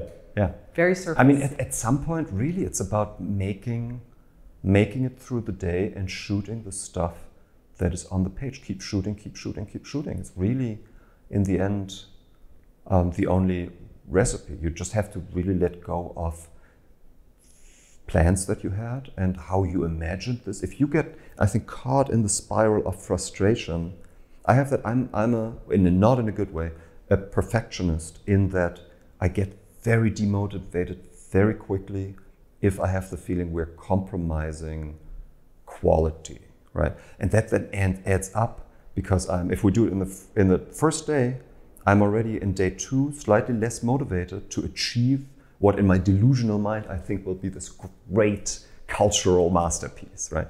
And, and so then you get, you, I have to be careful not to get caught up in the frustration of that because every day it will be worse because the first day you compromise, the second day you have to compromise before because you compromised the first day. So the third day and it gets bigger and bigger and bigger, and in the end you get you could get to the dangerous moment of I don't care anymore, you know. And to to to save yourself from that, I think it's it's good to let go a little bit in the beginning and almost ideally see the humor in it and go like let's see where this goes but i still have to deliver obviously the pages that we have to shoot every day and then we'll see in editing if we can save this thing that's probably how that would go he basically said his, he sees his role as the director as the person the host of a party and he has to make sure everybody is comfortable and likes coming. And then whatever happens, happens. There's only so much you can steer in the moment, but it's about whom you invite and that you create an atmosphere where they can work the best and then to just keep looking after their well-being, which I thought was genius. It's just like I'm not that person on set. I've seen directors that are literal cheerleaders. Like they will make sure that everybody has a blast all the time. I need someone else. I need an AD who does that or something because I'm not. I'm in real life not enough of a party animal to create that kind of. But sure. on set when I'm working, much less, much less. And I have to tell act actors that in the beginning that they don't think my German demeanor is I'm miserable right now, but that's just what I look like when I'm working. It's not the continuous well of, of joy, um, which is okay though. With I think it's okay with the people that I work with one on one creatively because we have kind of I think they appreciate the the down to earthness much more rather than the party party thing. Right. But for the overall atmosphere on set, of course, that is then not in my purview so much. Whether people, and I couldn't tell you after the shoot if people behind the scenes had a great time. I don't know because I was so focused on my thing. And yeah. in the end, I think from the outside, it always looks as if the director has to deal with 500 people because the teams are so big. But really, it doesn't make a difference if I'm shooting a little student film where I only have my cinematographer, my roommate is the cinematographer, and I have two actors, is the same as if there are 500 other people around. I'm still just working with the cinematographer and with the actors. I'm not dealing with the catering people. I'm not taking with the gaffer who has to bring a light from where. From the outside, it looks like this huge machine that you suddenly have to control. But in the end, it's about three or four people in a room doing their thing, right? So that atmosphere to me is very, very, very important. But whether the gaffer is going out with the catering person or not, I don't know. I can't control, and I don't really care about. You know, so that's that's where my party ends. My party are these couple of people: the actors, the cinematographer, the operator, maybe one of the producers. If the writer is on set, the writer. But we are we would fit into this room easily. And then there's a party out there that that I can't control, and I think people figure that out very quickly. That I'm not the you know, kind of party party host. Um, and I think it's okay with everyone, hopefully. I remember one gentleman addressed the crowd before something that we were all going to work, and he just said, "Look, I'm French. If I ask you to do something in the moment, it'll sound really bad, but I'm not mad at you." Genius. And it was funny, Genius. and we all we all relaxed and yeah, he was actually a super nice guy and right. but the the fact that he kind of like made light of it right. made you feel like safe with him. Ah, I'm gonna do that from now on. That is genius. It was great. That's very good. Yeah, yeah. You know? Yeah. When you sign on to direct a TV show, how much prep time are you given? Contractually, I think they have to give me the script 24 hours before shooting starts. So that's not a lot, really. And it has to do with that with the fact that I am not expected to have creative input into development and into the script at all. I'm being hired to direct what's on the page. I would say in, in in, real terms, how that plays out, I usually have about a week, I would say. And that's when I, because I'm coming from the screenwriting background, so I have opinions on the script for better or for worse, and whether I'm right or not is a different thing. But I have the feeling I'm kind of failing this, this episode if I'm not voicing my suggestions, which I'll, I'll just write up sent to the showrunner, and whatever of that they want to incorporate, great. Whatever they don't want to incorporate, great too. I, that's the, the only time I ever suggest that in the writing stage, because then I have the feeling I've done my work. I've contributed my filter as, as the audience reading it fresh, basically, which I think is important for them to know because they hired me as a director. So to hear about my filter and my feelings and my maybe red flags where I feel like this or that will be hard to bring out the way that I think they want it. I'd say that once. Um, and whatever they reject, I know that they've already worked on it so long and so many people had to give their okay to greenlight it that I can't come in and change everything. That that ship has sailed, you know. And that was something that took some getting used to doing TV at first. Um, and then I go in the time that I have, depending on how much time I, I have to sit with it. I'm going through every single scene and I have this kind of questionnaire of 36 questions that I ask myself for every scene. So that because, because when I first did it, I didn't have it written down. It was kind of a whatever question I could think of that I would, would consider with the scene I did. And so much time was wasted on remembering the questions that at some point I was like, if I just, and I have like a simplified one for TV with I think 17 questions or something. And now we're just kind of tick them off, boom, boom, boom, boom, answer them. And to me, the great thing is that with some questions, if you force yourself to answer them, like there would be something like, in, in what way does the lighting inform the mood in the scene? Whose, whose scene is it? uh, through whose eyes do we see things? What is the one takeaway that the audience has to understand in terms of information? Um, what is the one visual image that I want them to carry away? Blah blah blah. All those things, and some some questions don't seem to apply at all at first. And if you force yourself to still think of an answer, they are always the most fruitful ones because you suddenly realize, oh, it applies big time. Like one, one question would be, for example, if you run completely out of time, how do you cover this scene in the shortest amount of time? And just knowing that, that I have that in my back pocket, gives me a lot of security on set because I know if all our, there's this saying, it's, I'll butcher that saying, as you always say. Um, it's Citizen Kane in the morning and it's the Duke of Hazzards in the afternoon or something which is so true. Like you come in the morning, you have, oh, we'll do this and this. And then at the end of the day, it's just like somehow get the stuff in camera that we have that scene. So when that kicks in, I want to be prepared for that. I don't hope for that to happen, but I want to be prepared for it. Or if you wanted to shoot the entire scene in one take, how would you do that? Or which, how do you want to shoot the scene? And if you were forced to do it another way, what would you do? And just by forcing yourself into oh, that would be would have been my go-to way of shooting this. Those are the images that come to mind at the very beginning, instinctively. But if I force myself to put a pin in that and come up with an alternative way for whatever reason, there's the more resistance I have to that, the more interesting stuff comes out of the answer to this question. That's all a very long-winded say the way of, of saying preparing for that stuff.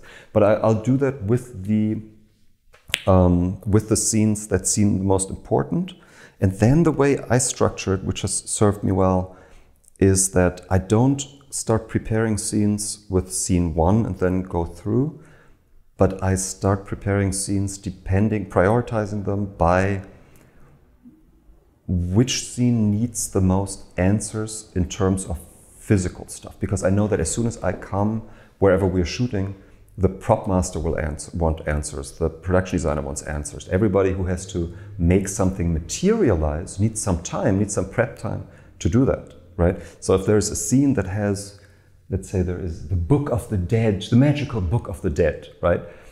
It would be, I, I know that the second that prop master comes up to me, the clock is ticking for him or her to get me the best possible version of this Book of the Dead. So every day that I go like, oh, I haven't thought about that, give me a day, the quality of that book will be reduced and uh, put that person under more stress. Whereas if I can immediately give them an answer and go like, this is how I picture that, boom, boom, boom, boom, boom, boom, they have more time to work on it, I get the better result, right? So in the beginning, when I first was preparing episodes, I was kind of preparing the most uh, character intensive ones first because they felt the most important storytelling wise. But that was exactly the wrong way to go because the character stuff is stuff that doesn't have a physical component to it that has to materialize. I can still rehearse with the actors pretty short notice. They don't need to know a week in advance that I'm looking for a certain character moment. That is pretty, it seems important in the story, but in the physical um, nature of the overall thing, it's not. And then I just write, knowing that other people need time to think about stuff too, I write down the questions that I want to answer, that, that I want to ask certain departments and that I want to ask, first of all, the showrunner. Because I don't want to work for a week and then I have the meeting with the showrunner and I realize that they have a completely different approach to or a different look or whatever, whatever, whatever. So I need my basic, basic answers to know what our playing field is to realize this episode. Of course, I've watched the ideally all the episodes that are leading up to my episode, so that I understand the, the language of the show and the look of the show, um, and all that. I, the, the one case where I wasn't able to do it was my Fear the Walking Dead episode, where I had it was very short notice, and I had watched the first season but then didn't watch all the episodes leading up to mine. But I was like, I'll get away with it. They will, the actors won't know. And they immediately knew. Like there, was, one or two conversations, and they immediately know you haven't watched the last because you are asking me to do stuff that I have done last episode. And you know, so I'll never pretend again. I'll just say, I'm sorry, I didn't watch the last episode. So, but if I can, obviously watch the whole build up to it, which in reality, obviously, you only get so far until you hit episodes that haven't that are not out yet. So then you try to get the scripts for those episodes, read the scripts. You try, if you can, get the rough cut, which sometimes already exists of the episode before yours. Like the more information you can get about the lead up into your show, I think the better. Um, and then I always try to meet every actor one on one because you have so little time to build a rapport with actors in TV um, that even if you have 10 minutes with them by yourself, they are forced to form a relationship with you. Whereas if you do that with three people in the room, sometimes the producer wants to be there, and I'm always saying, don't don't take this personally, but I'd rather do it on my own. Know, because a group dynamic is something that will happen quickly enough, but on set you do need the relationship with each actor on a, on a private level as much as possible. That was a very long answer. But. What if you only have 24 hours to prepare all of that prep work, watching episodes, reading scripts, all of that stuff sounds wonderful.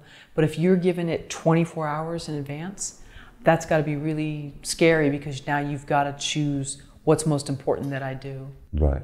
I've never had it in real life, luckily, that I had only 24 hours, but that is the DGA mandated minimum. I think my, my shortest was uh, one week. I mean, you then cut corners. You watch on, on YouTube, you watch the recap for the episodes, the two minutes thing, what happened now. You read the Wikipedia episode entries that tell you what happened in, so that you at least have the story arc down. You watch the pilot for sure. You maybe watch if there's any behind the scenes footage where the producers are talking, that's worth watching on YouTube because you get a feel for what kind of people they are. And then going through the script, you would probably reduce your your character stuff to what does the character want in this scene? Where are they starting out? Where are they ending up? What's their want? Um, because it feels like that is the minimum of what you need to know going into a scene, working with an actor. Their, their, their want, that every person in the scene has an objective. What is that? And if you have that, then you can probably walk in, especially with TV, where everybody has played their characters for a while and knows their character better than you do. You're probably okay walking into that. Um, yeah, and in terms of the, the, the physical stuff, it's, it is probably worth trying to communicate with the departments already. Don't wait until the producers introduce you to the prop master, because that might be days and days and days later. But try to be like proactively write an email to the production, say, can I have the email address of the costume designer, of the, of the prop master? Email them directly and tell them what you want. You know, start a conversation with them because every minute counts in the end. Everything is so stressful that if you can get a head start by a day or two, it makes everything much much easier, much more doable. 36 questions that you have, do you, you literally have them typed out? Yeah. That's yeah. great. I've done less and less now. I would say maybe I'm doing 20 now or something because you just get it takes a while. Like for a movie, I would still do that. If I know I have one year before I'm shooting, I would still do 36 questions for, and I would storyboard every scene because I always have the feeling if I've the, the main goal of this whole of the questionnaire is to force yourself to spend 10 minutes inside of that scene whichever way just be there with the scene think of nothing else other than this scene so that when you do it on set it feels like territory that you've stood in once before that's not the first time i'm now thinking about it but it's like hmm.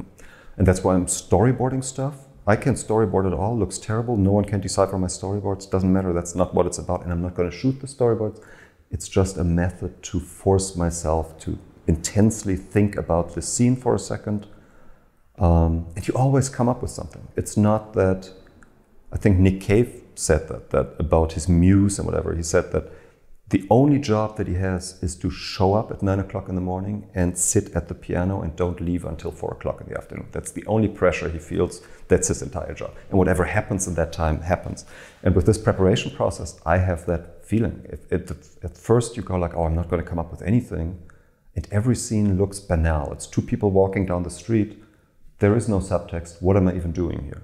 But two minutes later, just sitting there, you go like, oh my God, this is a metaphor for his walk to the gallows. And if I shoot it from here, you know, just through sheer, I guess, boredom or something, to sit with it, you always come up with something interesting. And in TV or ev- everywhere, maybe, I always have the feeling if I find one thing that interests me about the, the scene, one thing that where I get up in the morning and go like, oh, today I want to do that. I'm looking forward to that. I have to find that in the scene where they are walking down the street somehow. And you always find it, you know. And that one interesting thing always also, or most of the time, informs the one direction that you give your team. Because the last thing that a team wants, obviously, is for you to do a big speech, 15 minutes long in the morning, about how you see the scene, how the scene reminds you of your mother, blah, blah, blah, blah, blah. If the, but if you can give one direction where it's like, let us treat this letter that the character has put on the table as if it's nuclear waste. That's how I want it shot. That's how I want every blah, blah, blah, blah, blah. It's the as if thing. It's an actress said that to me once. I asked her, what is she looking for in a, in a direction? And she said, um, a code word, a key, basically, to open up whatever that opens up, which to me like changed everything because it was before because before that I was that person who kind of give these big speeches that I had thought out before, blah blah, help no one because no one can process all that stuff. But since I know that that unlocking key thing, um, that's really what it is because now everybody can make their decisions in, in connection with this one thing that I put out there, and it changes everything. It changes everybody's approach to a scene, and suddenly a scene is not generic anymore because that is the big problem. Fincher, I think, said that it's not directing is not about what all you do; it's about what you not do, and that's how you define style, which is true. It's so intimidating to think here's a scene and you could shoot it whichever way from wherever, which with whatever lens, bum, bum, bum, bum, bum. How, do you make decisions? And I think that a lot of directors or beginning directors get completely lost in that and go like, I, I don't know. So if you find one thing that you base it on, it anchors everything and it informs most of your answers. Some things it won't have any effect on, but whether I put the camera here with the letter in the foreground or over here without the letter, suddenly there will be an answer to it because I know that this letter is important and I want to treat it like a dangerous nuclear waste artifact. So I shoot it differently. So this, I think this one as if thing, I would, if I only had 24 hours, I would try to find that for every scene, find the want of each character. It would be a stressful 24 hours to do that, but that would kind of be the minimum preparation that you probably would want to do. And when you talked about the fear of the blank page with screenwriting, it sounds like there's a similar thing with storyboarding. Right. Oh, see, now you are there. So there would be such a thing as director's block, which would be exactly that. You can do anything. So what do you do? It's the same as the blank page. i have just invented this story, uh, this bedtime storybook, because I can't tell bedtime stories. If you said, "Tell me a story," I, there's, there's a prince. I don't know. Yeah. um, and I just talked to a friend yesterday, and he said what he does is he is asking their child for three words, and then he will tell a story. So if the child says toilet bowl, tiger, and bracelet, then he suddenly, out of infinite options of what to tell, has zeroed in on three things that he will now connect to something and make work somehow, which to me was genius, which was what I was trying to do with that book and much more complicated. He really distilled it down to something very simple. But I think it's the same. It's the same with finding that one, the approach um, to the scene. And there's all, all this language around it that is so intimidating and scary, where people are like, "Oh, I want to hear your vision," and the production designer goes, "What's what's your vision for this?" And secretly, you go like, "I don't have a vision," but you can't say, "I don't have a vision." But I think that's important not to be intimidated by. But they just want that one word, the key to how are they supposed to approach this thing. And if you just give them one, that it's like this place has to feel really lived in, or he hasn't you know, tidied up in two weeks, it opens a whole different door for them and their department. You know, or you want if you talk to the cinematographer, you really want to feel the presence of his dead parents by the shadows on the wall. But in, to the cinematographer, it immediately means, aha, so we have to, we need light sources that are low so that the shadows are being thrown up on the wall. So now the cinematographer has to talk to production design to get those lamps and motivate those. It's a whole chain of events, but you have now given them the direction that they can work inside of their department and with other departments without your constant input. And then you just have to have to trust that you're working with good people that know what they're doing, where you don't have to micromanage where exactly that lamp has to stand, but you know what the effect is that you're going for. And the effect you're going for is, and that goes full circle to what we talked about earlier, they are going back to what do you want the audience to experience?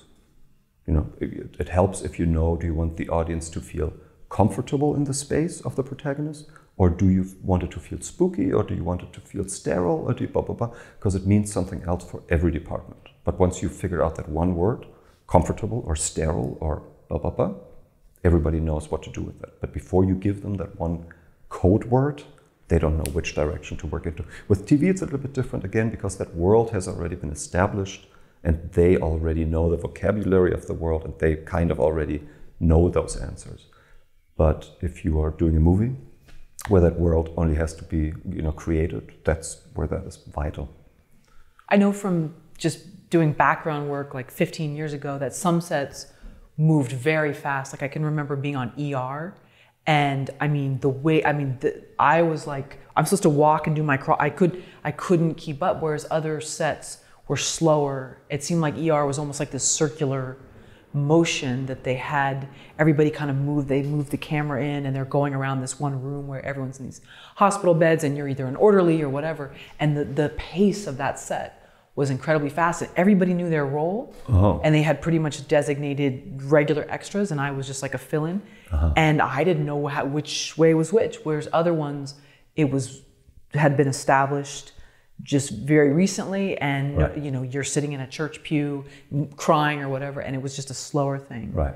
So it's just interesting how certain sets and the dynamic of the scene or the sets or the show is just a faster pace. Right. Well, that I think has to do with has that set been established? If they shot 500 episodes in there, they don't have to figure out how to shoot that set every time anew. But there's like, you know, a kind of process. Whereas if it's a church that we have, we're shooting in for the first time, you do have to figure out these, all these things. Which lens does that way of the church look the best? Blah blah blah. It's all trial and error, whereas with the set that you've shot on again and again, the trial and error phase is over and you just kind of go right to the to the effect.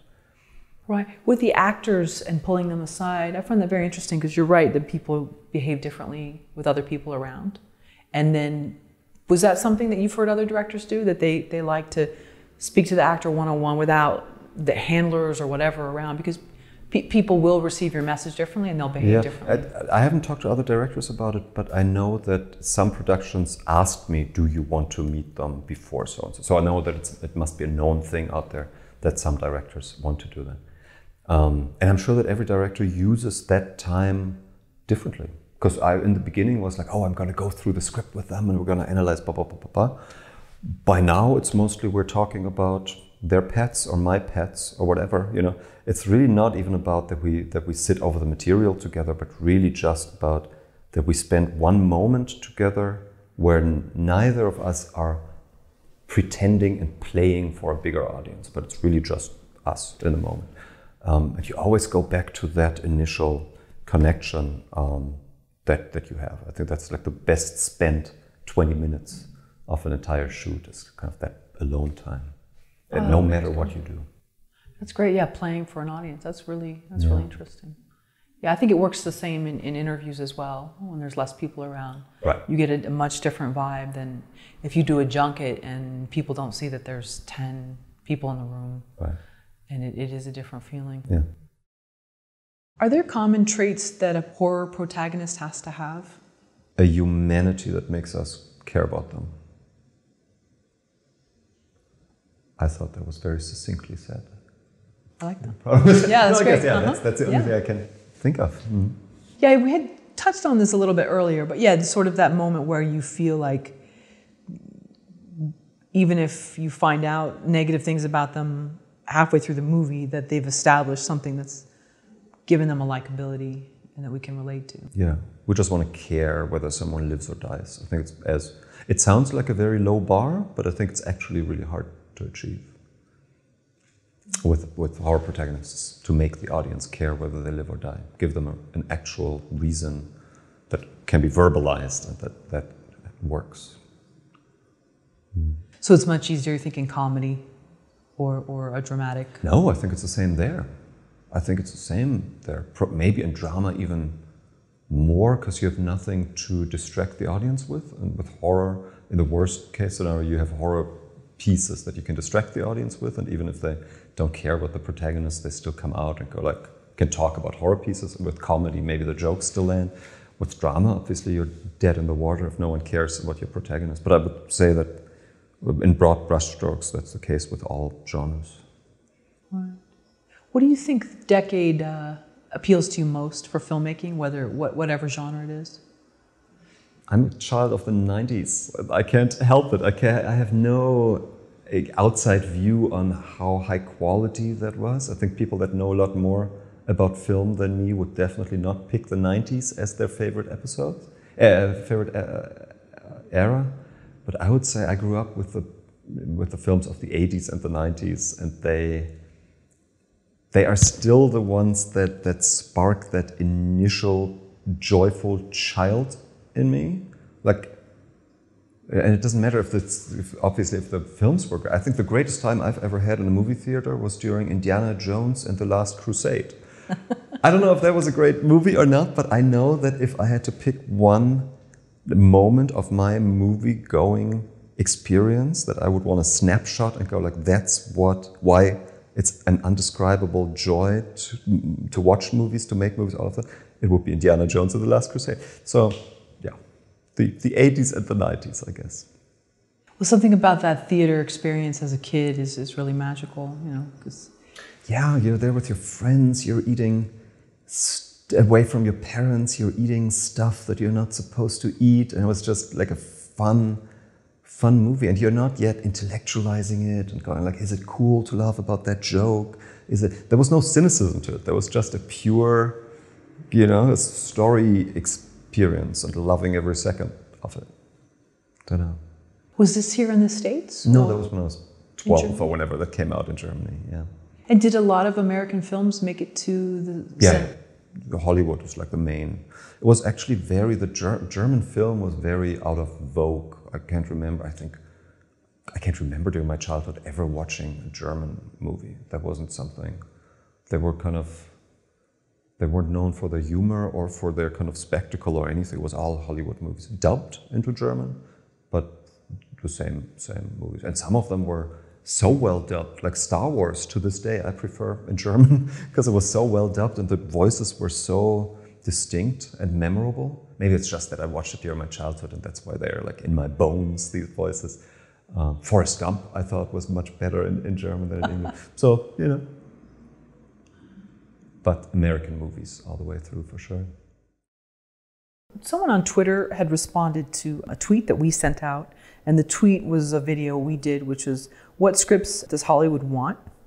Most screenwriters are writing the wrong ones. And so we had a gentleman ask, Well, you know, this is a pivotal issue. Do I write what I know and what moves me, or do I write what producers are looking for? So I know this is a sort of an ever going question.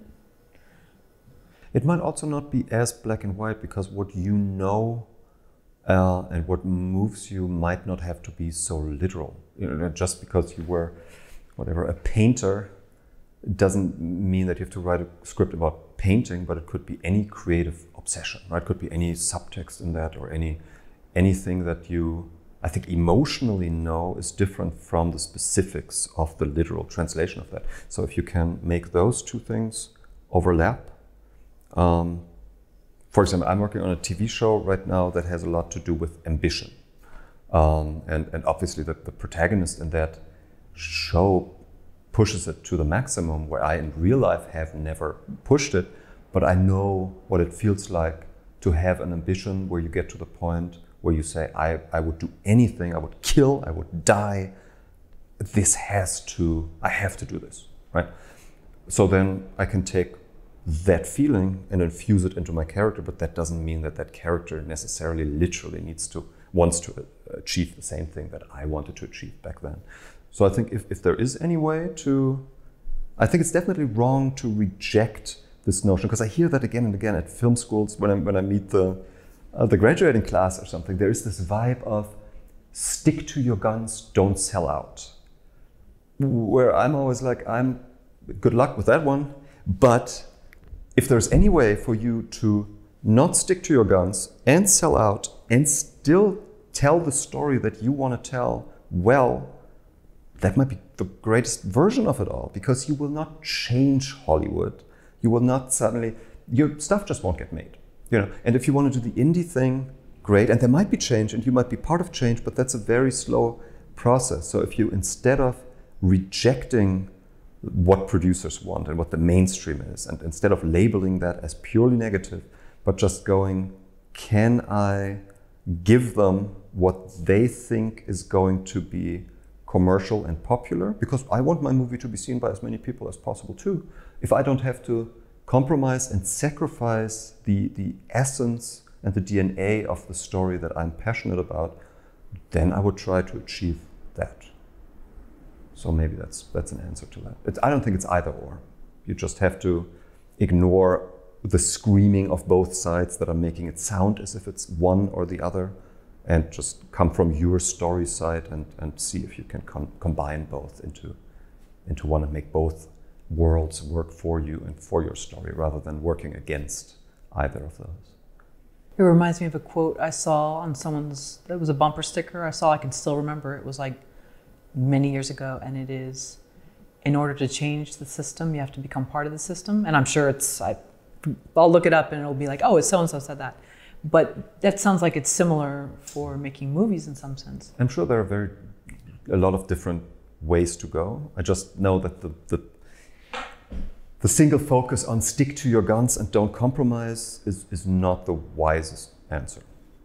Um, and I'm, I'm, there are definitely examples, probably, where people did that and they changed the world and they changed film and all that.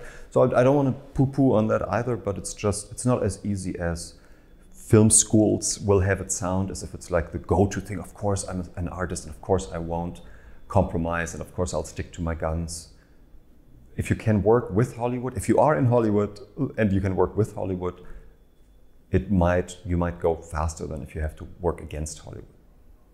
Mm. Makes sense. In 2012, when we interviewed you the first time, you talked about how Hollywood is based on selling promises, or I think that's what we entitled the video. That was a good title too. Oh, okay. Yeah. Oh, that's, that's almost David so here. that once you've read the headline, you don't have to watch the video anymore because it's all in there. Yeah. You thank David for that. Um, do you f- still feel this way? Very much, hundred percent. Yeah, um, yeah.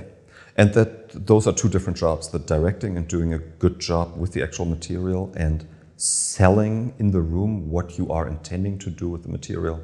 That those are two completely different things, and that the, the promises um, you just have to if you don't have the confidence which i'm not that person i'm not the car salesman usually you just have to pretend and just you know talk about it as if this is how it's going to be and this is what you're going to achieve and all your self-doubt which again you will have. In interviews you always have the feeling that filmmakers are always clear on what they want to achieve and how they want to achieve it and with whom they want to achieve it. Everything was great. There's the product. That's not how it really works. I think there's a lot of self-doubt along the way that you kind of have to get through. But you really I have the feeling, for me at least, I have to put that on pause for the 45 minutes that I'm walking into that meeting and just be. You know, I'm, I'm trying to be as authentic and genuine with everybody as possible. You know, in that room, I, I have to be someone else for that time because they don't want the creative soul that is, you know, blah blah blah. They want the, the, a manager. They want a business leader that give will bring them the product that they are paying for. Um, and that makes Hollywood very much based on promises, on pitches. There are a lot of different names for it, but in the end, it's just you promise a creative outcome that in the moment you really have no right of promising at all. Um, and everybody plays along and pretends that that's not the case. So. What do you say to filmmakers who get so excited and inadvertently push their project out before it's ready? And then it's not perfect. Uh, of course, it'll never be perfect, but there's maybe they should have taken more time, six months, whatever. But they want to rush it. They want to say, I have another film finished or have my first film finished. I don't know if I have anything to say to them because it's a, it's a feeling that I've never had. I'm the opposite. Like I'm I would sit on it forever if I could until someone rips it out of my hand and goes like good enough and it still doesn't feel good enough and I still feel like a fraud somehow with it now. So if they, if they have that confidence that they've made something and they want it out the door and they don't have any second thoughts about it, I would almost say go for it. I know that the, the conventional wisdom from from film festivals and all is this don't submit it to us before it's finished, finished. But I always wonder if that's a little bit of a self-serving thing because film festivals get flooded with projects anyway. So it makes sense for them to say, don't send it to us before you're finished with it. Um, but for you as the filmmaker, if you feel okay that this is close enough to the best version that it, than it can be, and you are okay with people watching it, I would say go for it. Which is not the responsible advice to give, probably. But I don't, I don't know how much better it really. There's always this theory that now I'm getting the numbers wrong probably, that you have to put in 80%, what is it, 20% of the work to get something to 80% of its potential. And the last 20% is where you spend the last 80% of your work, which is very much my experience. And I have friends that are totally living in these 80%. They just have an idea, they have momentum, they do the 20% input, have 80%, everybody sees the potential, it's great, out the door, next project. Whereas I will spend the next two years trying to get the last that's a perfectionism thing, getting the last 20% right. And in the end, I would say my friends who have done three or four projects by the time that I've done one, they might have one complete gold nugget out of their four projects that might be better than mine. So it's just a different way of, of working. Um, so if, if someone works like that, I would say go with it. Because how much better, and it's hard for you to judge while you're making it, but how much better is it realistically going to be if you invest another half a year? Is that something that only you, because you're so in it, feel? But that someone else who hasn't seen it and watches it for the first time, it would be an unnoticeable difference? Then I would say good for you for pushing it out the door sooner. I definitely think that exposing your baby to the world as soon as possible, if you can stomach it, will always benefit the project rather than sitting on it too long and having things get too rigid and too hard to change. I've had that a couple of times that I showed something where we were just about to lock the cut to a friend who had a comment where I was like, I wish I had heard that half a year ago. That is genius. That would have made the whole movie so much better, but now it's too late because we're about to lock. It was totally my fault for showing that to people too late because I was too precious about it and I should have been more daring and more courageous and opening it up to animosity, to criticism earlier because there was still time to react then. Wow, so yeah, I guess you can hold on to something for too long then. Definitely. Oh, interesting. Yeah. yeah. Forever. I mean, sure. There are people that are still writing their first screenplay 40 years later because it's not good enough, not good enough, not good enough, which I totally get. But obviously, every film that has ever been made had a screenwriter push out his or her script before it was perfect. Otherwise, the movie would not exist right now. So I think either way can be a problem. Yeah. How many screenplays have you been working on over the last five years?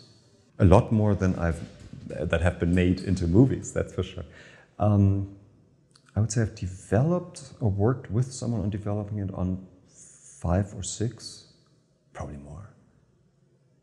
Maybe up, up to 10, I would say. One we've developed for a long time for a studio, um, which then took one afternoon for the new boss. That is a classic story. You develop something with one executive at the helm who loves the project, and then they get fired, unrelated to the project. The next generation comes in and goes, "Oh, we don't, we don't want that kind of movie." And it doesn't. It's not about the quality of the script. It's about they don't want to make that movie right now and then you're so there's that's I think maybe the, the hidden thing that you never see about directing that the majority of work you do on stuff that never makes it to the screen and that you never get paid for and that's just an investment that you have to make and that hopefully works out because some of the stuff does get made which again that's where the jumping on greenlit projects comes from because there you have less of that fallout where you've just worked needlessly into the void and then nothing ever comes of it. Um, but I would say some of the best scripts that I've ever worked on are the ones that have not been made. You know, and that's what the whole the blacklist is based on, right? It's just a list of the greatest scripts that have never been made. Um, so someone had to sit on those and develop those, and they probably weren't paid for it. So I'm doing a lot of that work that you always have to push away in the back of your head that you might be doing this in vain right now because it's so much work and so much you have to put in the same amount of emotion and, and put importance on it as if as you do on the ones that are then getting made because you don't know which are the ones that are getting made and which ones are the ones that are not getting made. So it can be heartbreaking um, but that's part of the job i think. How many different screenwriters are you working with I, I have one, um, David Birke, who is a genius screenwriter that I've done a couple of scripts with, and he rewrote Last Exorcism, he wrote, wrote 13 Sins. Um, he's amazing, so I'll work with him whenever I can, but a lot of times the scripts come with other writers attached, and then if producers um, are championing the, the scripts, I will work with that writer who wrote the initial draft. So I would say these 10 scripts over the last couple of years maybe had five different writers or six different writers. What's the most challenging part of finishing a screenplay for you? Probably finishing that screenplay because there are still so many, in my case, there are still so many things that need fixing. Um, but if, if we waited for me to fix all the things that I think need fixing, it would never see the light of day. So it's always been the case, which I guess is a good problem to have, that producers are going, this is great, this is ready, let's do it, or let's not do it, or whatever the next step is. Let's finish developing it. And I have to get myself to the point where I'm like, okay, i am willing to let go. If it were the other way around, it'd be trickier, I guess. If I'm like, this is good enough, and the producers are, no, it's not I don't want to be in those shoes either. But my experience is more the opposite that, that other people are ready to make something much quicker than I am. So that's kind of a, difficult situation to be in. Is it the ending of the screenplay, or is it the character arc? It, What? Um...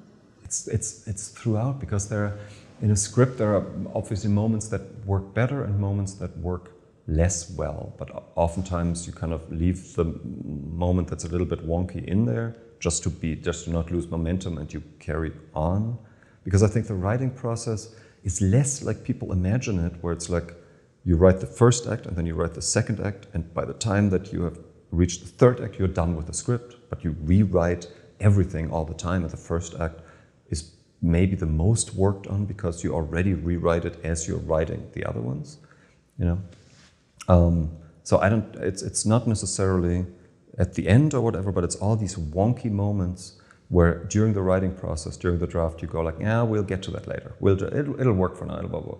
And then if you're co-writing with someone, which is what I'm doing, that is where you then have slight differences of opinion somehow. What we get away with, what we don't get away with, what is believable, what's not believable. In the beginning, there's always a lot of agreement because we kind of see the broad brushstrokes exactly the same.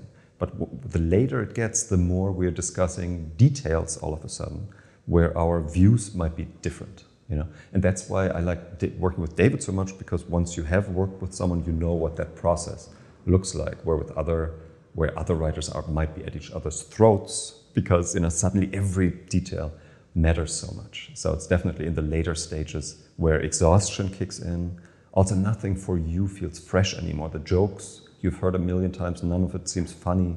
The scares aren't scary. Um, it's just it, there's a certain dullness that sets in. That if someone reads it fresh, and that's why it's so important to then give it to someone, because the other thing that they bring in, other than having notes on it, is an enthusiasm, hopefully, that you can feed off of that you've long lost for you. It's just work and it's oh, another draft, blah, blah, blah. And then you have someone read it for the first time and go like, this was hilarious and it was scary, but you go like, oh, I forgot, you know, and that gives you another couple of weeks of fuel to kind of carry on. It's a whole back and forth. What advice do you have for someone who's having trouble finishing a screenplay? I have no advice because that goes back to thinking that that's the, the hardest part of the whole thing And that's part of why I don't write, because I would not have an answer to it. Because I don't know, it's so ethereal, the whole thing, you know, either something presents itself or it doesn't. Maybe show it to other people, I guess. Show it to other people, open it up, don't be precious about it, um, and just try to survive the feedback somehow. I'm always putting a little paper on my wall before I show anything to anyone and go like, this is feedback, it's supposed to be depressing, so that I can afterwards read it and go like, oh, I knew this before, because I forget it. When I get the feedback, I'm always thinking I'm so depressed because it surprised me and I thought the project was great and I get bad feedback. But then I look at the paper and I'm like, oh no, that's the process. I knew that before. That feedback, you, you do feedback to get negative feedback. Otherwise, it would not be valuable, right? You want stuff that didn't work for people. But of course, when that hits you like a wave, so you have to be prepared for that. But I think other than that, probably showing it to other people is the only way to go. What do you want the audience to think and feel about something you've created? That it wasn't a waste of their time to consume it, first and foremost. Hopefully, that they were entertained. Hopefully, that they feel it was smart and taking them, respecting them and their intelligence. Um, that it felt true somehow, um, maybe emotionally or just that they, that they see snippets of what their experience as a human being in the world is. Um, and ideally, that something surprised them. Um, but then, after they saw it again, it felt true to them. Um, yeah, I think, I think to forget for two hours that they are watching a movie because hopefully the acting is authentic enough and the story is engaging enough that you can just escape reality for, for two hours. So it doesn't even mean that they have to love it, it just means that they feel that it was real, that they were actually either an observer in a scene sitting across from the protagonist or just. I mean, it helps if they love it. I love if they love it. Um, totally, that's that's the added bonus. But I would I would settle for because that is such a high standard already these days that it's not a waste of your time because there's so much offered for you to consume. So to decide on something and afterwards have the feeling that that was the right choice and it was worthwhile watching, to me is already an extremely high bar. So I'll settle for clearing that, but if they then want to love it and recommend it to someone else, I'm, I'm over the moon. That's great, of course. Has your view of directing evolved? Are you directing now the way you always have? Or things have changed? Your, your 36 questions that you either have in the back of your mind or the back of your pocket have, have been added to?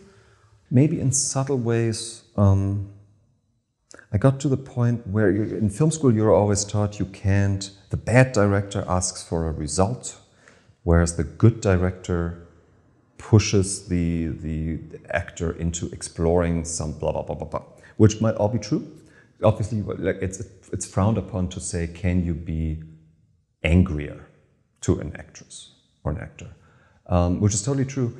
But what that did to me at some point was that it totally paralyzed me because I was so aware of this minefield of what all is good directing and what what you're not supposed to do and blah blah blah blah blah and one actor, British actor that I worked with, um, said that to me. I was, I was trying to come up with, basically, I wanted him angrier.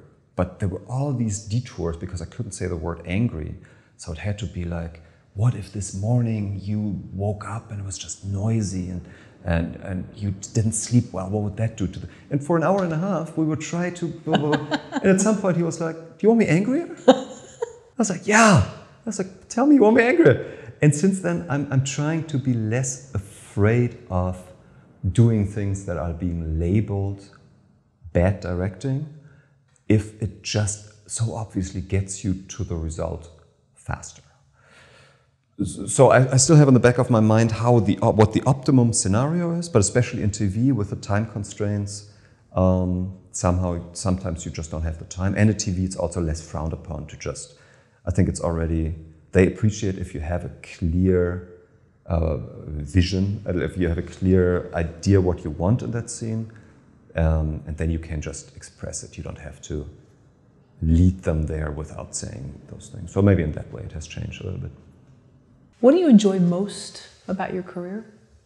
That I get to work on stuff that then brings something into the world that didn't exist before. I think just the creative process. If I, if it would be, it's a hard thought for me that I could do a job where I don't create anything, and at the end, it's just not that those are not not um, valid careers, but if I worked in a bank, I wouldn't see that result. The world wouldn't be obviously a different place. It would probably be, but I wouldn't see how the world is a different place now that I've been doing something in it rather than if I didn't exist, kind of a thing. Um, so I really enjoy that. Um, that every minute that I spend working is an investment in my career, but also an investment in creating something out of thin air and breathing life into it. And doing that with other creative people, uh, of which a lot of them have the same, feel the same kind of rush doing it. That's maybe the greatest part. Did you ever have a day job where you had to just not really create? You're just. Uh...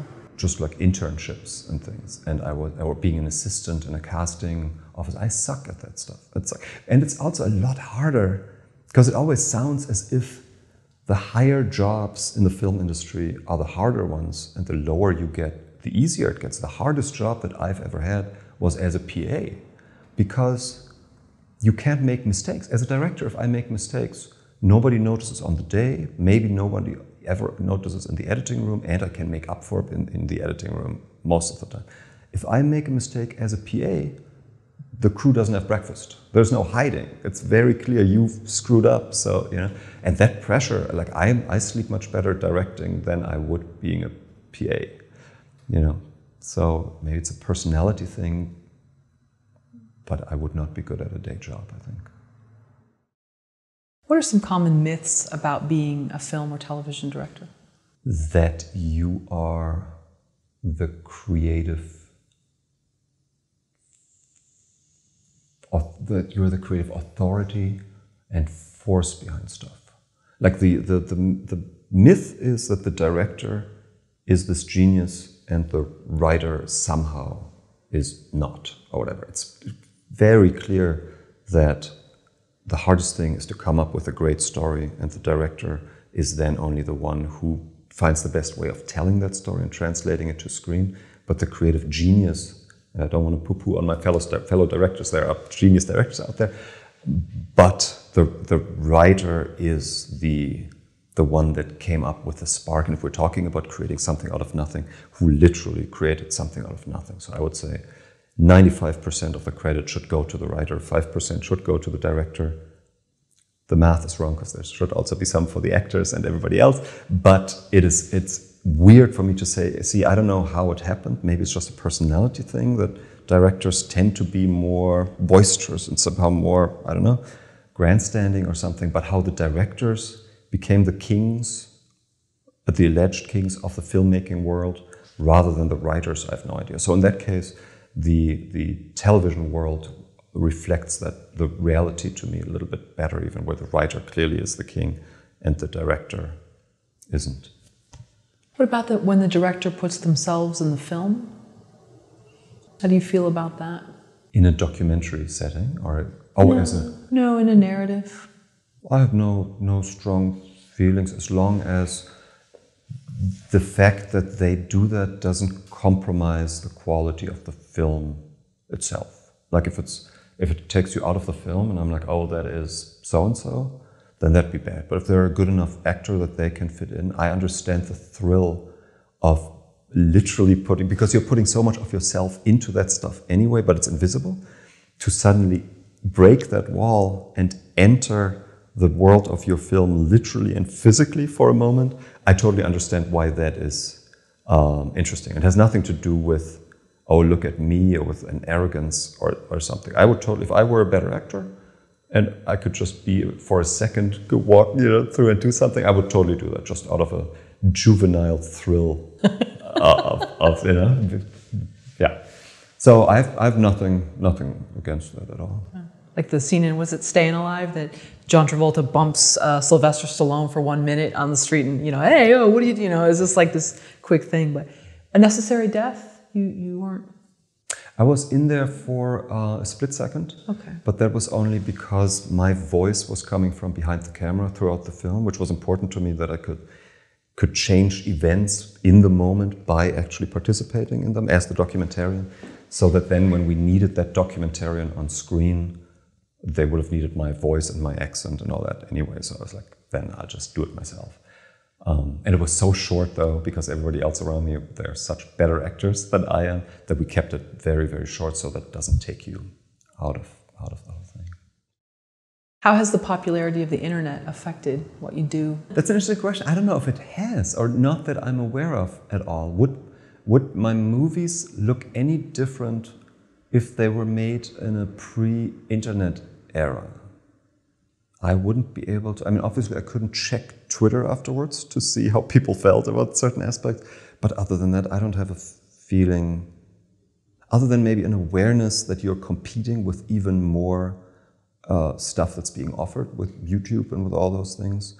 Um, and that, that people's patience because of that is, much shorter than it used to be. But I don't know if, if in another way it's that affected by it.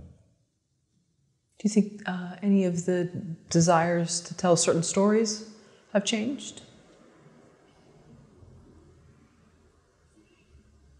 I mean, it's like we used to turn on 60 Minutes back in the day to see an expose on something, and, and it was exciting, and you'd hear the clock ticking and all that. I mean, now all we have to do is just pick up the phone for one second Right. and look for a notification. And to see something tragic happen, or something amazing happen, or some celebrity has a, an opinion on something. And, you know, I used to see Mike Wallace sit down and like really grill somebody. And, Right, right, right.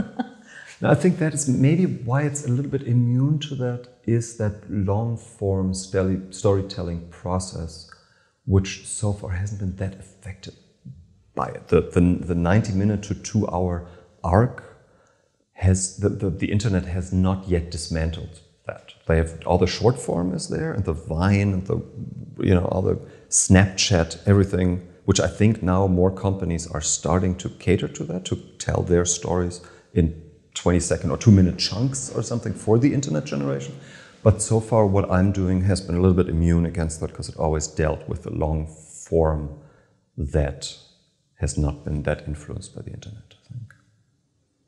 Looking back now on your career, why are you still here in Hollywood? Well, what stories do you still want to tell? Why does it still drive you to be here? You talked about ambition for this one character that you were thinking of and, and how you were either not like that character or you were. Right. I mean, the, the very superficial level is really that this is one of the only places in the world where you can make a living doing what you love, if filmmaking is doing what you love. Um, but then also, it's a very high standard of professionalism in the town, obviously. The, the crews you get here, um, the, the creative talent that is here.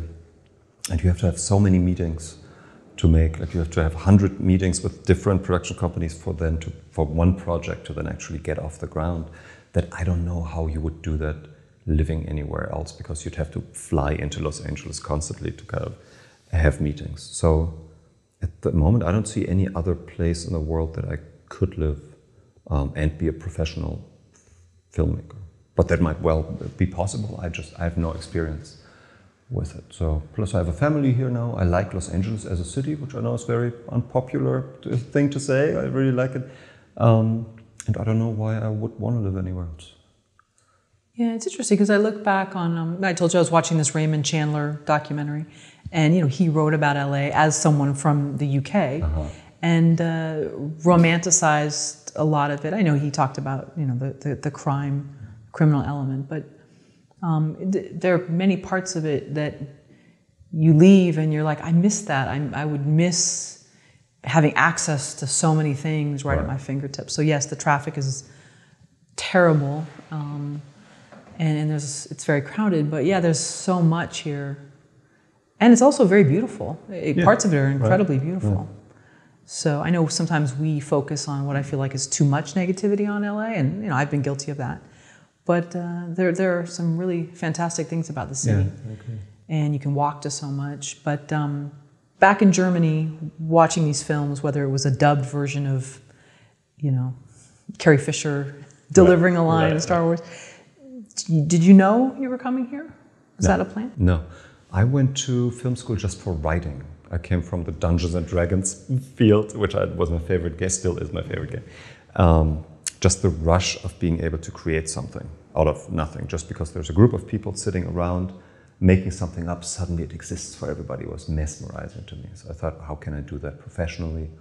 Writing was the answer, so I was looking for a writing program, which happened to be the film school in Germany.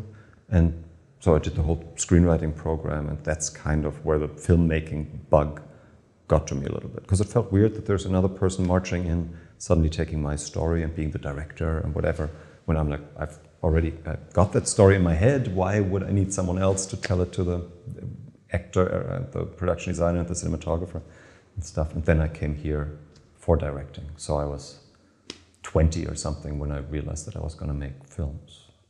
My, that my teenage self didn't know that yet. If you were to go back and give yourself advice, what would you say to yourself? Even if it's just some like very quick, sort of flippant advice. Stay away from a certain producer that completely destroyed a movie that I did, which had a very harsh impact on my career.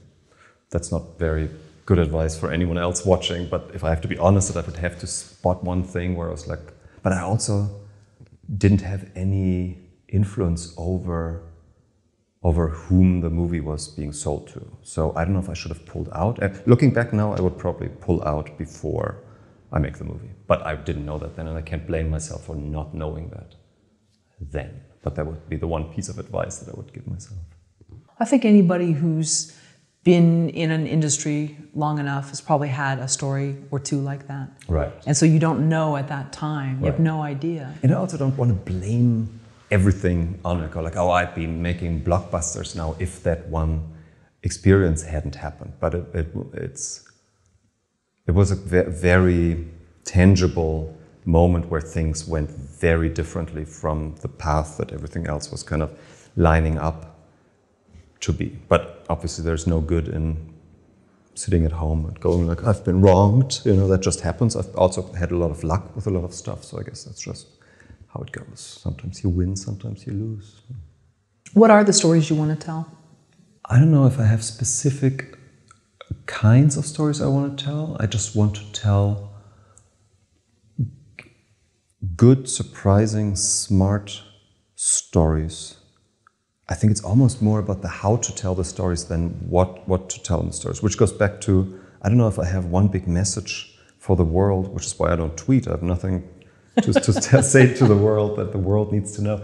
It's the same with a movie. I don't know if I'm in possession of any truth that will change the world if I just can get the world to hear it. And it's the one story that keeps me uh, awake at night. It's really just about trying to make stories that, that really have an impact on you in, as a viewer in the moment. That to me is kind of the my goal to which I'm responsible for my craft, basically.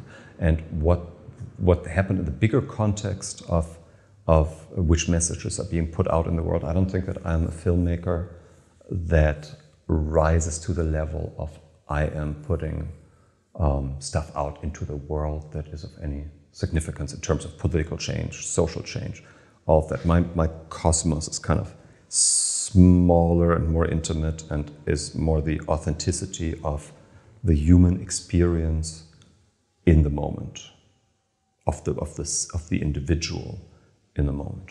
And I'm pretty happy in that field.